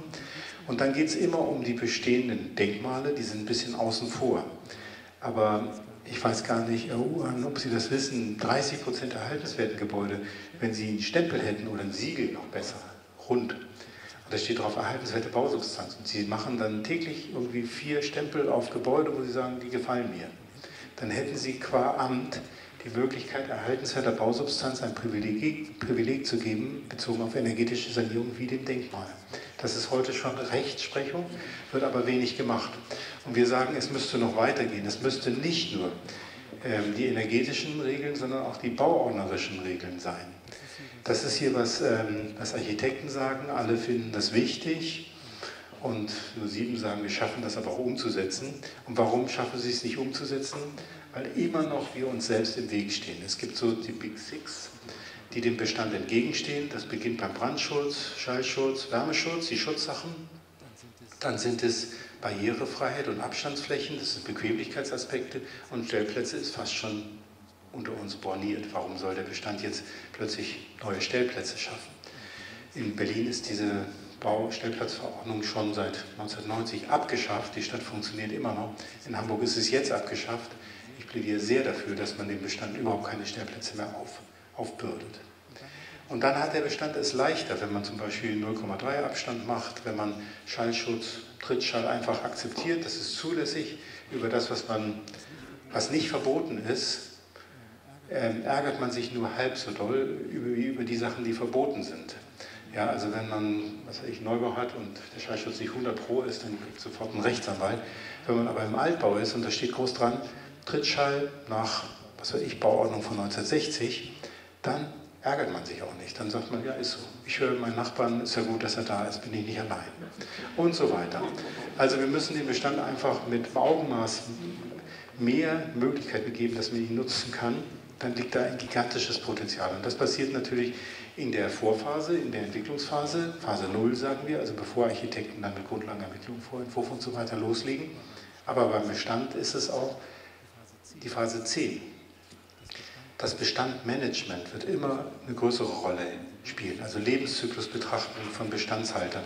Man kann bei Grünanlagen Entwicklungspflegepläne machen. Das heißt, über die Entwicklung von 30 Jahren Grünfläche wird die Grünfläche immer weiter qualifiziert. Bei Gebäuden gibt es das noch nicht, müsste es aber geben, denn dann kann man mit dem Unterhaltungsaufwand teilweise einen Kurswechsel hinkriegen und das Gebäude nochmal anders qualifizieren. Phase 10 für den Bestand. Und das führt dann zu einer qualifizierteren, besseren Zusammenarbeit, die auch zwingend ist. Entwickeln, planen, bauen, betreiben. Wir sehen immer alle Akteure und nicht nur die Architekten, Ingenieure, Immobilienwirtschaft und so weiter in getrennten Welten, sondern wir führen alle zusammen, jetzt auch beim Konvent. Und da liegt ein echter Mehrwert drin, wenn diese Menschen sich untereinander austauschen, gut miteinander arbeiten und gut reden. Und das ist ja wirklich auch eine Kulturtechnik, die wir der vierten Säule der Nachhaltigkeit der Kultur zurechnen. Unser Claim ist übrigens auch Räume prägen Menschen, Menschen prägen Räume. Das ist sozusagen die zweite Hälfte dieser kulturellen Säule.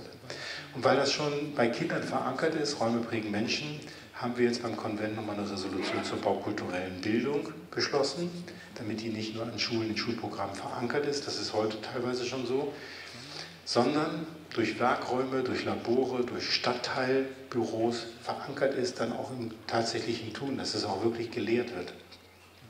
Und da gibt es so viel Luft nach oben. Und da, wo Kinder und Jugendliche mitwirken, in Stadtentdeckern, in Architektur macht Schule, in Jugendbauhütten, ergreifen diese Jugendlichen zu 20 Prozent handwerkliche Berufe. Und das kann ich nur empfehlen. Ich bin selber in meiner Schule in Lüneburg ab und zu mal, werde ich dann geholt zum Abi-Abschluss.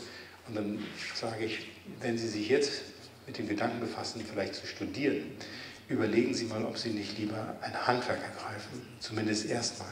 Handwerk hat goldenen Boden und Handwerk hat auch viel mit unserer DNA zu tun. Ich weiß, das ist ein bisschen riskantes Feld, aber es gibt hier im Hirn so einen Bereich, der die Motorik steuert.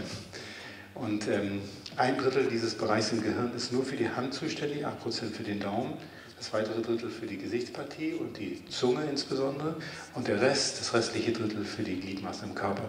Wenn man das überträgt auf einen motorischen Homunculus, dann ist das so eine koboldartige Figur, die gigantische Hände hat. Und mit diesen gigantischen Händen, äh, also genetisch, wischen wir im Moment über unsere Handys oder machen Computerspiele. Das ist auch gut. Aber ich glaube, wenn wir uns handwerklicher betätigen könnten und beim Umbauen braucht man Handwerk, dann macht das auch glücklich und könnte für die Gesellschaft gut sein, weil es auch Integration fördert, Teilhabe und, und, und. Muskelhypothek haben wir uns ja ganz abgewöhnt. Das war, als wir studiert haben, ja Selbstbaukonzepte gab es da, gibt es heute nicht mehr. Da liegt aber auch noch ein Potenzial bei der Umbaukultur. Ich komme zum Ende, damit hatte ich ja angefangen, die Langlebigkeit unserer Produkte. Wenn wir jetzt die Gebäude haben, die 100 und länger, Jahre und länger halten, dann lohnt es sich daran weiter zu denken, aber auch umzuplanen. Wir müssen ganz neue Systematiken entwickeln. Wir brauchen digitale Bestandsaufnahmen, wir brauchen tatsächlich Umbaukostenzuschläge gibt in Nordrhein-Westfalen ein Programm, das heißt Jung kauft alt. Und da wird gefördert mit 1500 Euro, dass die jungen Familien erstmal ein kleines Gutachten machen können durch einen Architekten oder Ingenieur. Wie sieht der Bestand aus? Was erwartet mich? Wir haben auch da Umfragen gemacht, während Bauherren und Ortspolitiker sagen, oh, Bestand schwierig, große Probleme, sagen Ingenieure und Architekten, Bestand überhaupt kein Problem. Wirklich, es ist komplett umgekehrt. Und deshalb müssen wir auch dem Bestand sozusagen Augenhöhe verschaffen, was die Handhabbarkeit betrifft. Und wir müssen umnutzen. Und auch die Umnutzung ist es ja nicht einzusehen, dass ein Haus, nur weil es von Büro zu Wohnung wird, jetzt komplett alle baurechtlichen Aspekte erfüllen muss. Ein Denkmodell wäre, Herr Urhan, Sie kennen das aus der Baunutzungsverordnung, dass die Bebauungspläne immer gemessen werden an der seinerzeit geltenden Baunutzungsverordnung. Warum soll nicht das Gebäude an der seinerzeit geltenden Bauordnung und an den technischen Regeln gemessen werden, dass es sozusagen im System bleibt, dann gäbe es viel Erleichterung. Also umdenken, umplanen, umnutzen. Unser nächster Baukulturbericht wird sich mit dem Thema neue Umbaukultur beschäftigen und neu, weil wir tatsächlich auch das, was wir neu bauen, auf die Rezyklierbarkeit checken müssen, weil wir hoffentlich eine neue Architekturform erfinden, und weil wir uns wieder mehr Mühe geben müssen mit unserem Bestand, den wir einfach wegschmeißen. Das hat es noch nie gegeben. Seit wir bauen, 7000 Jahre, haben Menschen immer den Bestand weiterentwickelt. Erst die letzten 150 Jahre haben wir angefangen, abzureißen und komplett neu zu bauen. Und das ist jetzt zu Ende. Davon bin ich überzeugt, dass es jetzt zu Ende ist. Ich habe aber auch einen Vorteil gegenüber vielen, die da vielleicht zweifeln. Ich sitze nämlich in diesem Haus in Potsdam. Das heißt, ähm, Sie sehen, da hat schon der Umbau über einen Wettbewerb, bei dem übrigens offen gelassen worden ist, ob das Haus abgerissen wird oder neu gebaut. Und ähm, äh, Entschuldigung, ob es abgerissen wird oder umgebaut wird. Und der erste, zweite, dritte Platz waren Umbauten und dieser realisierte, von Springer Architekten realisierte Ziegelaufsatz, statt dass man sagt, das ist wirklich ein toller Träger von Baukultur. Und im vergangenen Sommer, etwa bei dem Wetter, sind drei junge Frauen vorbeigegangen. Ich habe gerade mein Rad abgeschlossen links. Und dann sagte die eine zu den anderen, das ist mal so ein richtig schönes Beispiel für die Verbindung von alt und neu. Und dann haben die beiden anderen gesagt, ja, finden wir auch. Und das habe ich nur so im Augenwinkel, Ohrenwinkel gehört. Fand ich super, dass ein Haus sprechen kann und dass das Laien offensichtlich erkennen. Und deshalb glaube ich auch, dass die Umbaukultur uns noch viel nutzen wird. Ich freue mich, dass ich heute bei Ihnen sein kann und hiermit ist der Vortragsreigen zu Reuse 2022 eröffnet. Vielen Dank.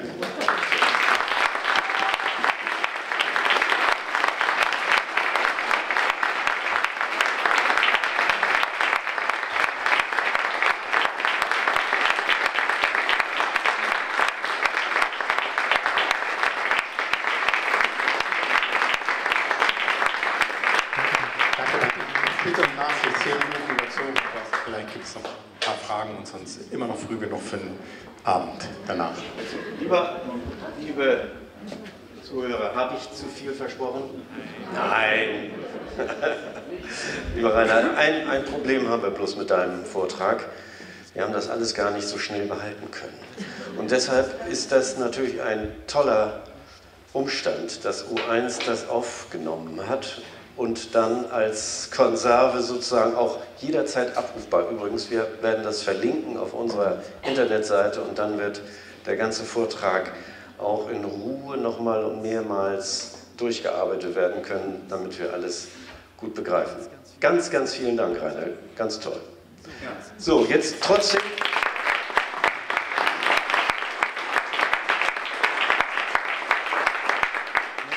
Natürlich äh, noch Fragen? Äh, natürlich, noch Fragen, bitte. Alles geklärt? Kann nicht sein. Dann machen wir das beim gemütlichen Teil. Oder wir können das auch beim gemütlichen Teil. Äh, ach so, doch, Herr Precht. Entschuldigung. Mein Name ist Friedrich Beck. Ich habe in Oldenburg ja über viele Jahre oder zum Teil ja auch Jahrzehnte das Abrissgeschehen dokumentiert und wenn man diese drei kleinen Büchlein, die im Wiesensee Verlag erschienen sind, zur Hand nimmt, kommt ja Wehmut auf. Was haben wir da für Chancen verpasst, Gebäude weiterzuentwickeln, fortzuschreiben, umzubauen und denen eine neue Zukunft zu bieten?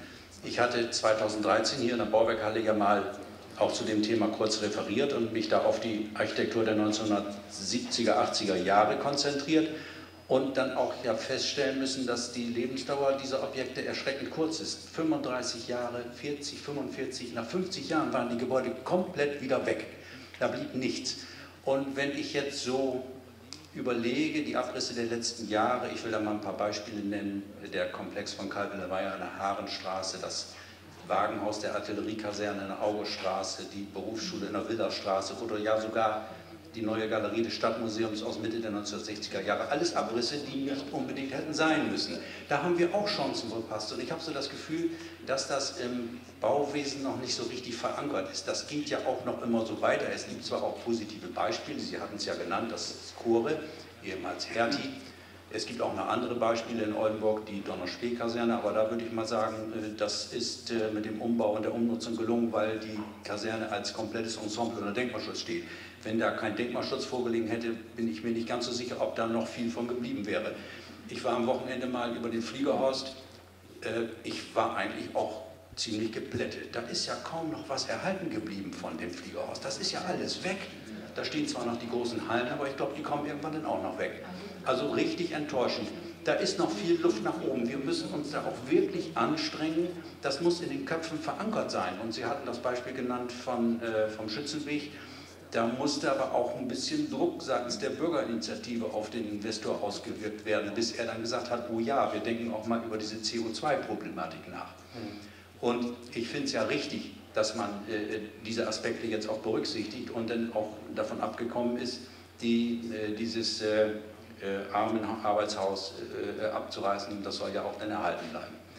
Äh, Im Moment habe ich so das Gefühl, das kriegt man nur über die Kostenfalle in den Griff. Wenn das eklatant teuer wird mit den Baustoffen, mit, mit, der, mit den, Produkt, mit den äh, äh, Transportkosten und so weiter, dann wird so mancher Investor überlegen, oh, äh, wir können ja nicht mehr so weitermachen mit Abriss und Neubau, wir äh, machen uns jetzt auch mal mehr Gedanken äh, über eine künftige Weiternutzung vorhandener Immobilien. Da geht es ja auch ein bisschen, geht ja nicht nur um Ressourcenschonung und Nachhaltigkeit, da geht es ja auch so um, um baukulturelle Werte, die wir bislang einfach immer so bedenkenlos äh, vernichten. Ja, äh, jetzt nochmal so meine Frage, wie ist denn so Ihre, äh, das hörte sich ja eben aus, überaus positiv an, aber wie sehen Sie das wirklich? Äh, ist, ist da jetzt im Bauwesen, ist das so langsam angekommen im Bauwesen? Auf jeden Fall, also was wirksam wird, ist jetzt die CO2-Bepreisung, die kommt, die geht ja schon los und das betrifft eben auch bei einem Ersatzbau den Abriss des vorhandenen Gebäudes. Das wird teuer werden, weil es in die Gesamtbilanz eingeht. Alle Zertifizierungssysteme, BREEAM, Leeds, DGNB, BNB, Hafen City gehen ja immer vom freien Grundstück aus und dann wird nur das Gebäude, was da neu hingesetzt wird, bewertet.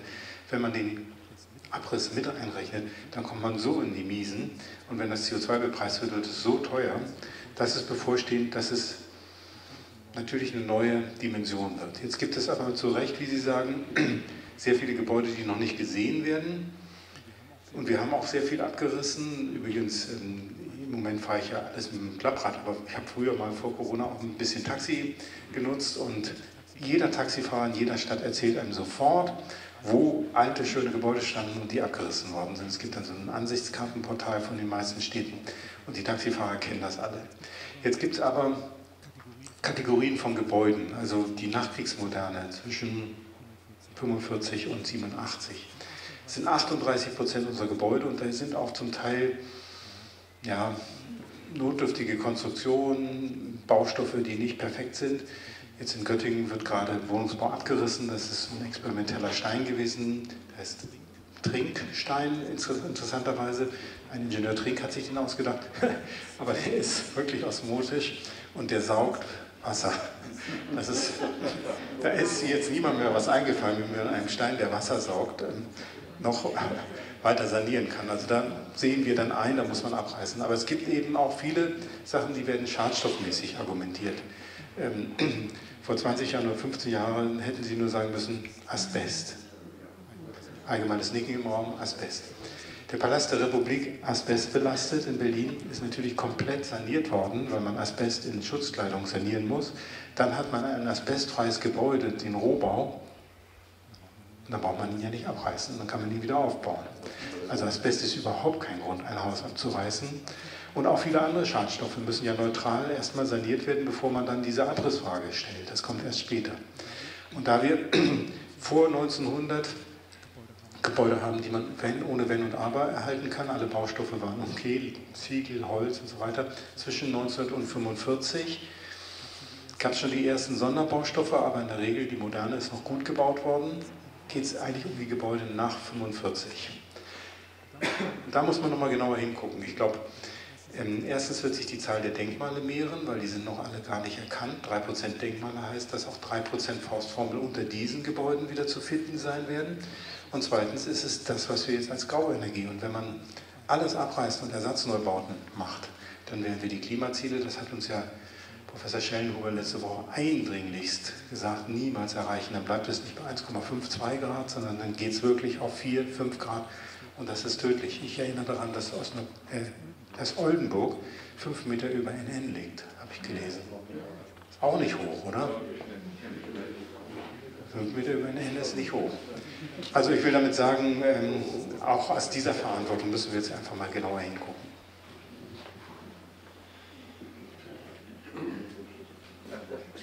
sagen. Ich will nochmal erinnern, lieber Friedrich Brecht, genau was du oder Sie gesagt haben jetzt. Das erhoffen wir uns für die Veranstaltung am 2. Äh, August. Bitte nochmal. Und nämlich das wäre ein wunderbarer Einstieg in unsere Diskussion. Da soll es um Oldenburger Beispiele gehen und diese, die du genannt hast, sind natürlich hervorragend und da kann man sicherlich dann auch kontrovers. Wir haben die Politiker dabei, die Regierungsfraktionen darüber reden, was sie mit Oldenburg so vorhaben und wie sie die Klimaziele, die sie sich ja selber gegeben haben, erreichen können. Das nur nebenbei einmal. Noch eine Frage? Oder beim Wein? Rainer steht äh, in der Mitte und äh, für alle Fragen offen. Ja, also ganz herzlichen Dank nochmal.